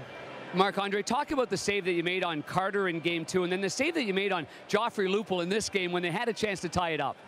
Um, yeah, I just tried to, to stop the puck, you know, try to get in front of it, try to give my uh, teammates a chance to win every night, and uh, you know, tonight they come out big with uh, five goals, so that was, that was huge for us. Okay, you're down 3 nothing in a game in which the Flyers have to win. You see Maxime Talbot get in a fight. Did you feel in the net that that changed the momentum of the game? I think right away you could see the guys, you know, they, uh, everybody kind of sparked up a little bit, and uh, we got a quick goal after that, and then a second, you know, and we're uh, back in the game right away. You seem like a very, very confident hockey club. There's a lot of belief on that bench. Yeah, yeah, I think we, uh, you know, we had some trouble this season some, at some point, but uh, near the end, we, uh, the team just picked it up and uh, did a great job, and it's fun to uh, that we kept uh, winning the playoff. I'll get ready for the next one, partner. Thank you very much. Thank you very much, Marc-Andre Fleury. And now we'll we'll go to the captain right here, Sidney Crosby. And uh, well, first of all, the the momentum of this hockey game. What were your guys' thoughts on the bench? Down three nothing. This place is alive. All the uh, 20,000 orange T-shirts. How did you get it back? Yeah, it's not the way we drew it up, but I think uh, we played the right way in the first. We made two mistakes and it cost us, but. Our game was there was probably the best in a few games that we started. So uh, I think we were confident in the way we were playing. We don't want to be down three nothing, but we hung in there and we showed a lot of guts to stay with it. I know, Sidney, that it's never just a, a one-man wrecking crew, but it, it must have been good to see Evgeny Malkin really kind of turn things around. I thought that second period was one of his better periods. No, it was huge, and uh, they started off crashing the net there, getting a, an ugly goal, and um, you know Max getting that fight as well to start things off. But you know Geno was all over the ice for the whole game, and uh, you know he's a leader and stepped up. Sidney, let me ask you about that because you're, you know, you're down three nothing. Max gets in a fight like that. I mean, you expect some momentum to change, but what happened on that bench to really turn things around? Uh, oh, I think you just want to rally behind that. I mean, anytime a guy, you know, puts himself on the line like that, you want to make sure that you follow it up. But I think even in the first, like I said, we were doing some some good things, but we just built off of that and tried to build some momentum off that fight. One quick uh, comment about your goaltender, Marc-Andre Fleury. He seems to just be growing a layer of skin after a layer of skin here and getting better and better. Yeah, I know that's that's experience, and um, you know the run we went through last year obviously helps, but you know he uh, made a, a game-changing save there. Five minutes left, that goes in. It's a totally different game. So uh, he knows what to do out there. Great stuff, and way to lead by example, Sid. Thank you, fellas. Take a look at our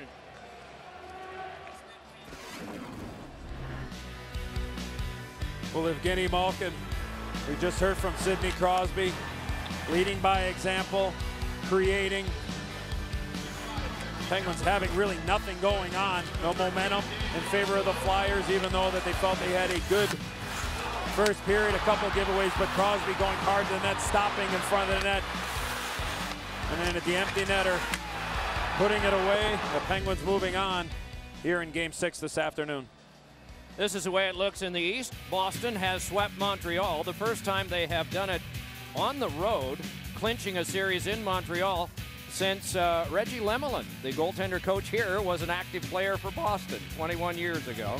Rangers lead in the series with Washington 3-2. We'll have game six tomorrow from Madison Square Garden at 2 Eastern.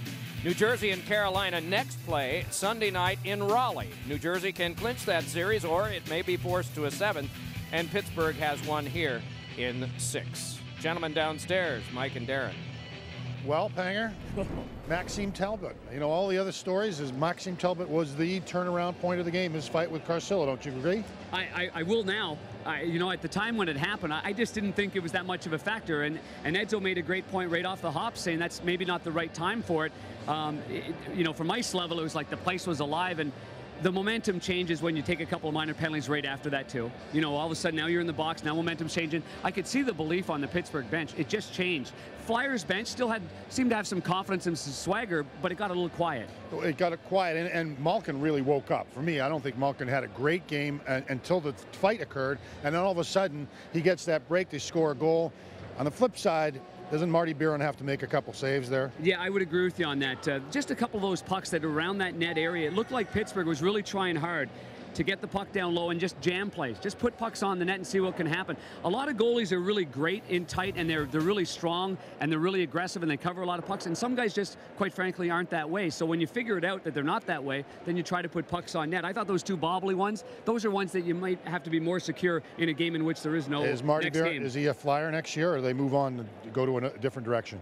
You know, in talking to Reggie Lemelin, their their, co- their goalie coach, I, I think they might need some stability here. They're working in the right direction. I thought he had a heck of a year, to be quite honest with you. Maybe they're just not good enough of a team to get to that next level because the better players on the Pittsburgh Penguins. were Well, that's right, and I think the Flyers really missed uh, a hot hand from Jeff Carter, who scored a bunch of goals this Mhm. year, but only a singleton in this series. Yeah, when you look at, at the layer of offense, you've got Sidney Crosby, Evgeny Malkin, and Jordan Staal, and Talbot's the fourth line kind of centerman. And then on, on you know on Philadelphia, it looked like Mike Richards was running out of gas when he starts skating Yeah, upright sure like did. that, and then he's he started kind of erect in his stance, and then he's turning no pucks over in the neutral zone. He's not a big guy. He plays with his heart on his sleeve. They didn't have enough offense coming from those guys. I mean, Giroux's going to be a phenomenal player. We know that. But I thought Briere could have had a little bit more. You know, you're looking at it mm-hmm. from Carter, and then you're looking at it from Richards. Well, the Penguins move on, and so do we. Doc and Edzo. All right, gentlemen, thank you very much. Let's take a look at our NetCam highlights presented by the United States Navy. Yeah, down by three.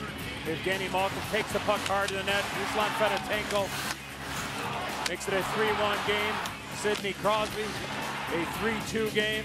And then Mark Eaton scores in between to make it 3-3. And then eventually Sergei Gonchar with the game-winning goal in that third period in Doc. And, you know, Mike and Darren were talking about the change in momentum in games. You just never know where and who it's going to come from, and that's why it is a team game. And Marc-Andre Fleury made some key, key saves uh, in that second period and also in that third period. A couple great opportunities for the Flyers. He was accidentally playing his very first game in Philadelphia, and that was because the, the starting goaltender for Pittsburgh, when Ed Olczyk was coaching them, Eddie, you saw uh, a guy hit in the throat, and Marc Andre came in and just stunned the Flyers, and Sid won it in overtime. Yeah, you know, I think the, the maturation process for Marc-Andre Fleury, I think Gilles Meloche, the goaltending coach, has done a, a, a great job, and I think it's just about maturity for, for Marc-Andre Fleury, and, and I think it's being in more control, better players around him, people you know, being more aware of the defensive play, and the Flyers, they had some great chances, but look, a 3-0 game, all the momentum is in favor of the Philadelphia Flyers. Maxime Talbot jumps onto the ice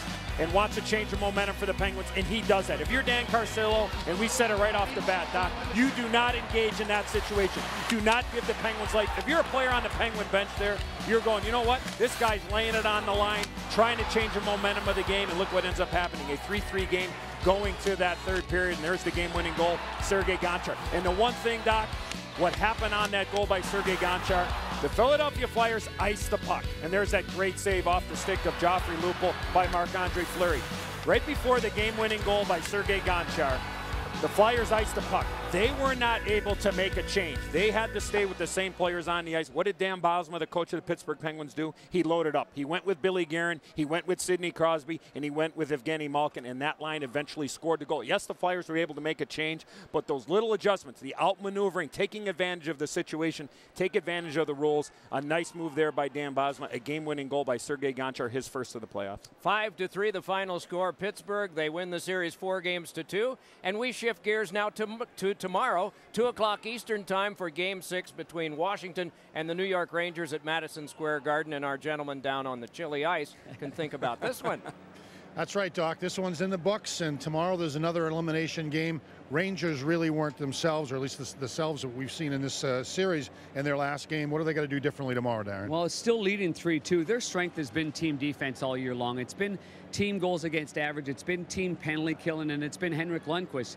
You know, you're not going to automatically score four or five goals. They've only averaged 1.5 goals per game in the playoffs. So they're going to be low scoring. It's going to have to be a tight checking game. It's going to have to be a really intelligent game at MSG because you know that the Washington Capitals have regained momentum and they've regained confidence. So I think it's good. It's going to be a gritty one in their own zone. And I think they got to have Sean Avery in the lineup tomorrow. I think he got taught us really tough lesson, but I think they need his emotion. Oh, he had to have been staggered by it. I mean, it's really one of the. I mean, he went dealt with the stuff in in uh, in, in Dallas, obviously, but going to the New York Rangers, it was one of those. Whoa, you know, uh, hey, I didn't do it, I didn't do it, I didn't do it. You know what? You're not going to play anymore. So he he. I think he gets I would it. I think it's his anticipate. I, do too. I would anticipate that he's going to be a really good hockey player tomorrow. He's a top six guy. He gets a lot of All right, minutes. I know you're has wound to- up here, little No, fella, but we got to go. he Doc and be Edzo. reliable. See you tomorrow. Well, they are charged up. Let's take a look at what we have ahead. Anaheim San Jose on Versus tonight at 10 p.m. And then the game we talked about tomorrow afternoon at 2 on NBC. And tomorrow night on Versus again, the Devils and the Hurricanes at 7.30 in that one. Interestingly enough, Daniel Carcillo, Maxime Talbot were teammates in Wilkes-Barre Scranton. But uh, they didn't get along as well today, and it worked in the Penguins' favor. Remember, tomorrow, 2 Eastern, Alex Ovechkin and the Washington Capitals, Henrik Lundqvist and the New York Rangers, Stanley Cup playoff quarterfinal game six from Madison Square Garden. Coming up next, except on the West Coast, it's your local news. Then tonight, starting at 8, 7 Central, it's Law and Order Special Victims Unit, followed by Southland and Law and Order. It's all tonight on NBC. We hope you've enjoyed the contest this afternoon from Wachovia Center. You've been watching the NHL Stanley Cup playoffs on NBC presented by Gillette Fusion. For Mike Milbury, Darren Pang, and Eddie Olczyk, Mike Emrick saying so long from Philadelphia.